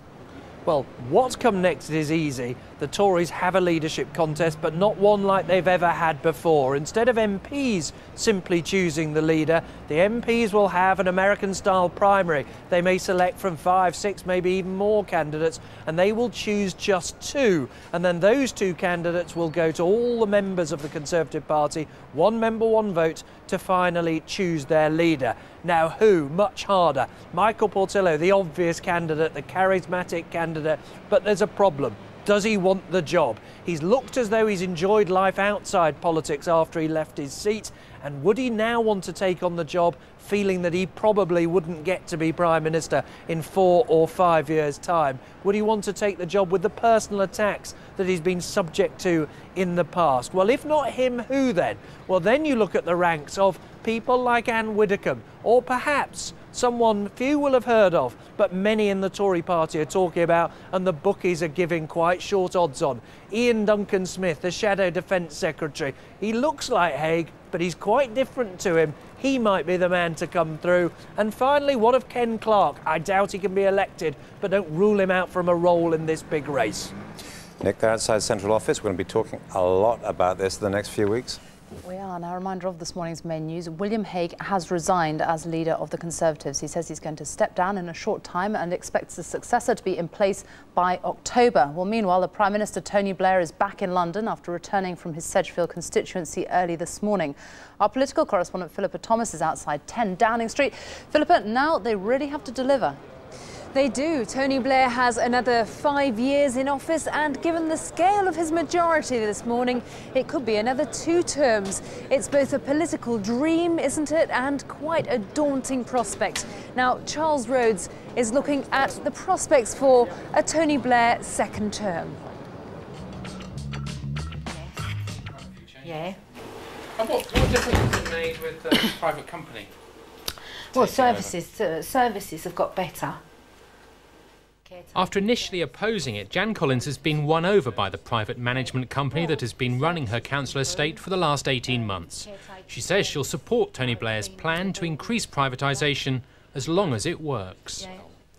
And for the second term, if elected, we want to accelerate the pace of change because without it, we will never build world class public services for Britain. If he's going to do what he's saying he's going to do, and it's going to improve the service, not just doing it for change's sake. This is a big mandate for that, for investment and change in our public services. They know that the state of our health service is not as good as it needs to be, and they want us to make the changes necessary to get there. With pledges to improve public services and continue the work begun to tackle poverty, Labour won over those who voted. But now it has a second term in which to deliver better hospitals, schools and welfare services. And I think that Labour's advisers and ministers are waking up this morning with a sort of sense of euphoria about having won the election. Uh, but actually, that's when the anxiety begins because they know that if they don't really make a difference in the next couple of years, then they're going to be in trouble in the polls in four or five years' time. Private companies are already building hospitals, running prisons and schools in a race Labour hopes will help it make up for years of underinvestment in public services. But last night's sensational defeat of a junior Labour minister by a retired doctor, campaigning against Labour's closure of Kidderminster Hospital, is a warning that Labour still has to persuade voters its controversial use of private money will deliver better health services. I think in the second term, Labour clearly has a problem of making the public services better, but there then will arise, in a sense, a bigger question, which will be for the government but also for the British public. Are we willing to pay the taxes to make those services as good as our continental neighbours? During the past few weeks, Tony Blair has repeatedly asked the electorate to give him the tools to finish the job he began four years ago. Now, with an election victory which should give Mr Blair a second full, unprecedented term in power, he has what he wants. And this time, he won't be able to duck questions about whether his government is delivering on its promises. Charles Rhodes, BBC News. Now, Philippa, what about a, a pros uh, the prospect of a reshuffle? How soon could that happen? I think that could, could happen within hours, actually. What we're expecting is that Tony Blair will first go to Buckingham Palace. He doesn't have to, he's continuing as Prime Minister, but I think we expect him to pay that courtesy visit. And I think the cabinet reshuffle is probably already drawn up and will be uh, going on over the next few hours. We may have the main names by the end of the day. And we have heard a lot of speculation already about, for example, David Blunkett moving into the space uh, for Home Secretary, uh, having a responsibility for the very important shake-up of the criminal justice system. The other key position to watch, I think, is education. If Mr Blunkett moves on, will Estelle Morris move up to take his place? And, of course, Alan Milburn at Health. Uh, that's expected to, to carry on like that. They will be the three key posts if Tony Blair is to deliver that radical reform of public services. Philippa Thomas, outside number 10. Thank you. Well, the election in Northern Ireland was marred by two policemen being hurt in a shooting in County Londonderry last night. It seems the dissident Republican group, the Real IRA, were to blame. The results of the election are not expected until this afternoon. Joining us from Belfast is our Northern Ireland correspondent, Dennis Murray. Dennis, first of all, tell me about the shooting. Well, it happened at a polling station in the village of Draperstown in County Londonderry at about a quarter to ten, just before the polls closed. And there was quite a crowd of people there apparently queuing to vote. And a gunman just came through the crowd, uh, shot and wounded the two police officers, but also wounded a woman who was in the queue. Uh, one of the officers managed to fire a shot in return, uh, but nobody was hit. And we've just been hearing that there have been a couple of arrests. Uh, the police, the RUC, are in no doubt that this was the work of Republican dissidents, and it's been roundly condemned on all sides as an attack on democracy. I mean, somebody was saying uh, the people in that queue had a right to vote, a right to democracy, a right to life, and uh, all those rights were violated by the gunmen. Dennis, what kind of impact do you think the, the elections might have on the peace process? Could have a tremendous impact. We had local elections here yesterday as well, uh, and you might have uh, quite different sets of results between the general election and the local election. Uh, some people have been saying that there's been tactical voting, uh, in other words, pro agreement voters, perhaps unionists voting for the SDLP in constituencies like West Tyrone in order to try and keep out a Sinn Féin candidate, uh, but then they would return to, be, uh, to voting Ulster Unionist as their first and second preferences in the local election. I, I think it, it's one of those the old Macmillan events, dear boy events. Uh, there will be negotiations after these elections, probably starting about the 18th, which will be chaired by the Northern Ireland Secretary John Reid and the Irish Foreign Minister Brian Cowen. Now, the Northern Ireland office say they don't have any sort of pre-planned format for those talks, but there will have to be some discussions, uh, clearly on issues, the, the vexed question of the decommissioning of paramilitary weapons, for instance. Was Mr Trimble hoping to strengthen his position, or was he worried by dissident unionism? Oh, deeply worried by the Democratic Unionist Party. But if you remember, uh, he handed a letter of resignation as First Minister uh, to the Speaker of the Assembly to take effect on July the 1st. And what that did was to change the campaign here. Uh, Ian Paisley's Democratic Unionists wanted to make it a campaign about what David Trimble hadn't delivered, for instance, decommissioning. And what David Trimble did with that was to make it a campaign about devolution, which he has delivered and which is very, very popular. So he's looking to win back a couple of constituencies. He'd probably lose one or two. But uh, what he needs to do is he needs to win North Down from Bob McCartney, the sitting independent MP, and he's hoping to hold Strangford against a very strong push uh, from Iris Robinson of the DUP there. And I think if he if he does win those two seats, then he'd probably have a very good election. Dennis, tell us about the, the timetable for what's going to happen later on in the day in terms of results because we had the local elections, what's going to happen is they're going to open all the local government boxes first and take out any of the general election ballot papers that may have got mixed up in it. And the chief electoral officer here has been saying he reckons that'll take about two hours in the count centres. So the count here won't actually start till about 11 o'clock this morning, and we're expecting the first results maybe mid to late afternoon. But also, I think people are expecting recounts in some of the constituencies, places like West Tyrone, for instance, where there is that battle uh, between the SDLP and Sinn Féin with the Ulster Unionist candidate as well well. Uh, so some of the results mightn't be until quite late tonight, 8, 9 o'clock, maybe even later if there are recounts. Dennis in Belfast, thanks for joining us. I'd just like to say apologies to all those of you who've written in with questions for Andrew and Marr. We plenty were, of you have. Well, plenty of you have. We were going to be talking to him, but as I'm sure you'll understand, events have meant that we no longer have any time to. Events, dear boy, events. Let's have a look at the weather now with Sarah. Thanks, Sophie. Good morning. Well, it's a gorgeous start to the day here in London. Plenty of sunshine around, a little bit of thin high cloud behind me. That's down towards the south. It shouldn't spoil the sun too much, and a few other clouds are now starting to build up a little bit. Now there is a lot of fine weather around across much of the United Kingdom at the moment, but there's more cloud across northern Britain, a few showers too, and a band of showers stretching in towards parts of northwest England. Now generally through today the clouds will build up, bringing a scattering of showers to many of us, but most of the showers will be across the north. That's where they're going to be heaviest, down across central and southern England and much of South Wales. Those showers will be much fewer and further between, and in fact some places will stay dry. Now later on this afternoon it looks like thicker cloud will stretch in towards parts of western Scotland and Northern Ireland, bringing some more persistent wet weather. Now the temperatures are still a little bit disappointing for this time of year, it has to be said, around 11 to 14 degrees for Scotland, for Northern Ireland, 16, maybe 17 across England and Wales, but the winds are lighter than yesterday and in the sunshine it shouldn't feel too bad. Now tonight we are going to see some wet weather heading down from the northwest and that wet weather will still be around during tomorrow, just slowly trundling towards the south, although it probably won't reach southeastern parts of England until late in the day. Once that rain clears away from northern Britain, it'll brighten up a little bit, but there will still be some showers and temperatures tomorrow will again be fairly disappointing at around 15, 16 or 17 degrees. Then on Sunday, again we're looking ahead to a day of sunny spells and showers. Now it looks like the heaviest, sharpest showers will be in eastern areas, some western parts will stay generally dry and bright throughout the day. Again, quite a cool day to come. Now on Monday, it looks like the wind will be fairly light, so it shouldn't feel too bad in the sunshine. Temperatures may be up to 18 degrees in places, and also the showers will be lighter and more scattered. And then on Tuesday, again, there will be a few showers around, but again, they'll be a little bit lighter. We should see temperatures up to 18 or 19 degrees in the south, and in the sunshine and in a light wind, that shouldn't feel too bad.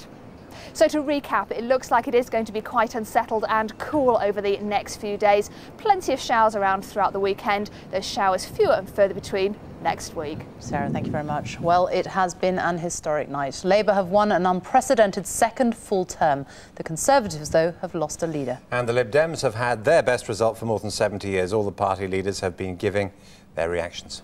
It's indeed a, a night of history for our party. But the one thing that we have to remember is that now is the time that the people of this country want us to serve them, want us to do the things that we promise that we will do, and they want us to be very clear about our mandate here. And I've therefore decided to step down as leader of the Conservative Party when a successor can be elected in the coming months. I will continue until that time to carry out the parliamentary and other duties of the leader of the opposition. In all likelihood, built on the amazing breakthroughs of four years ago, and we've taken ourselves further forward across Britain as a whole, and we are very much the party of the future for British politics. Election coverage continues at 9 o'clock with 30 minutes of news from around the UK on BBC One and the latest on William Hague's resignation on News 24. But we'll finish today with a look back at some of the images of the past 12 hours. From all, all of us here at Breakfast, goodbye. Goodbye. Oh.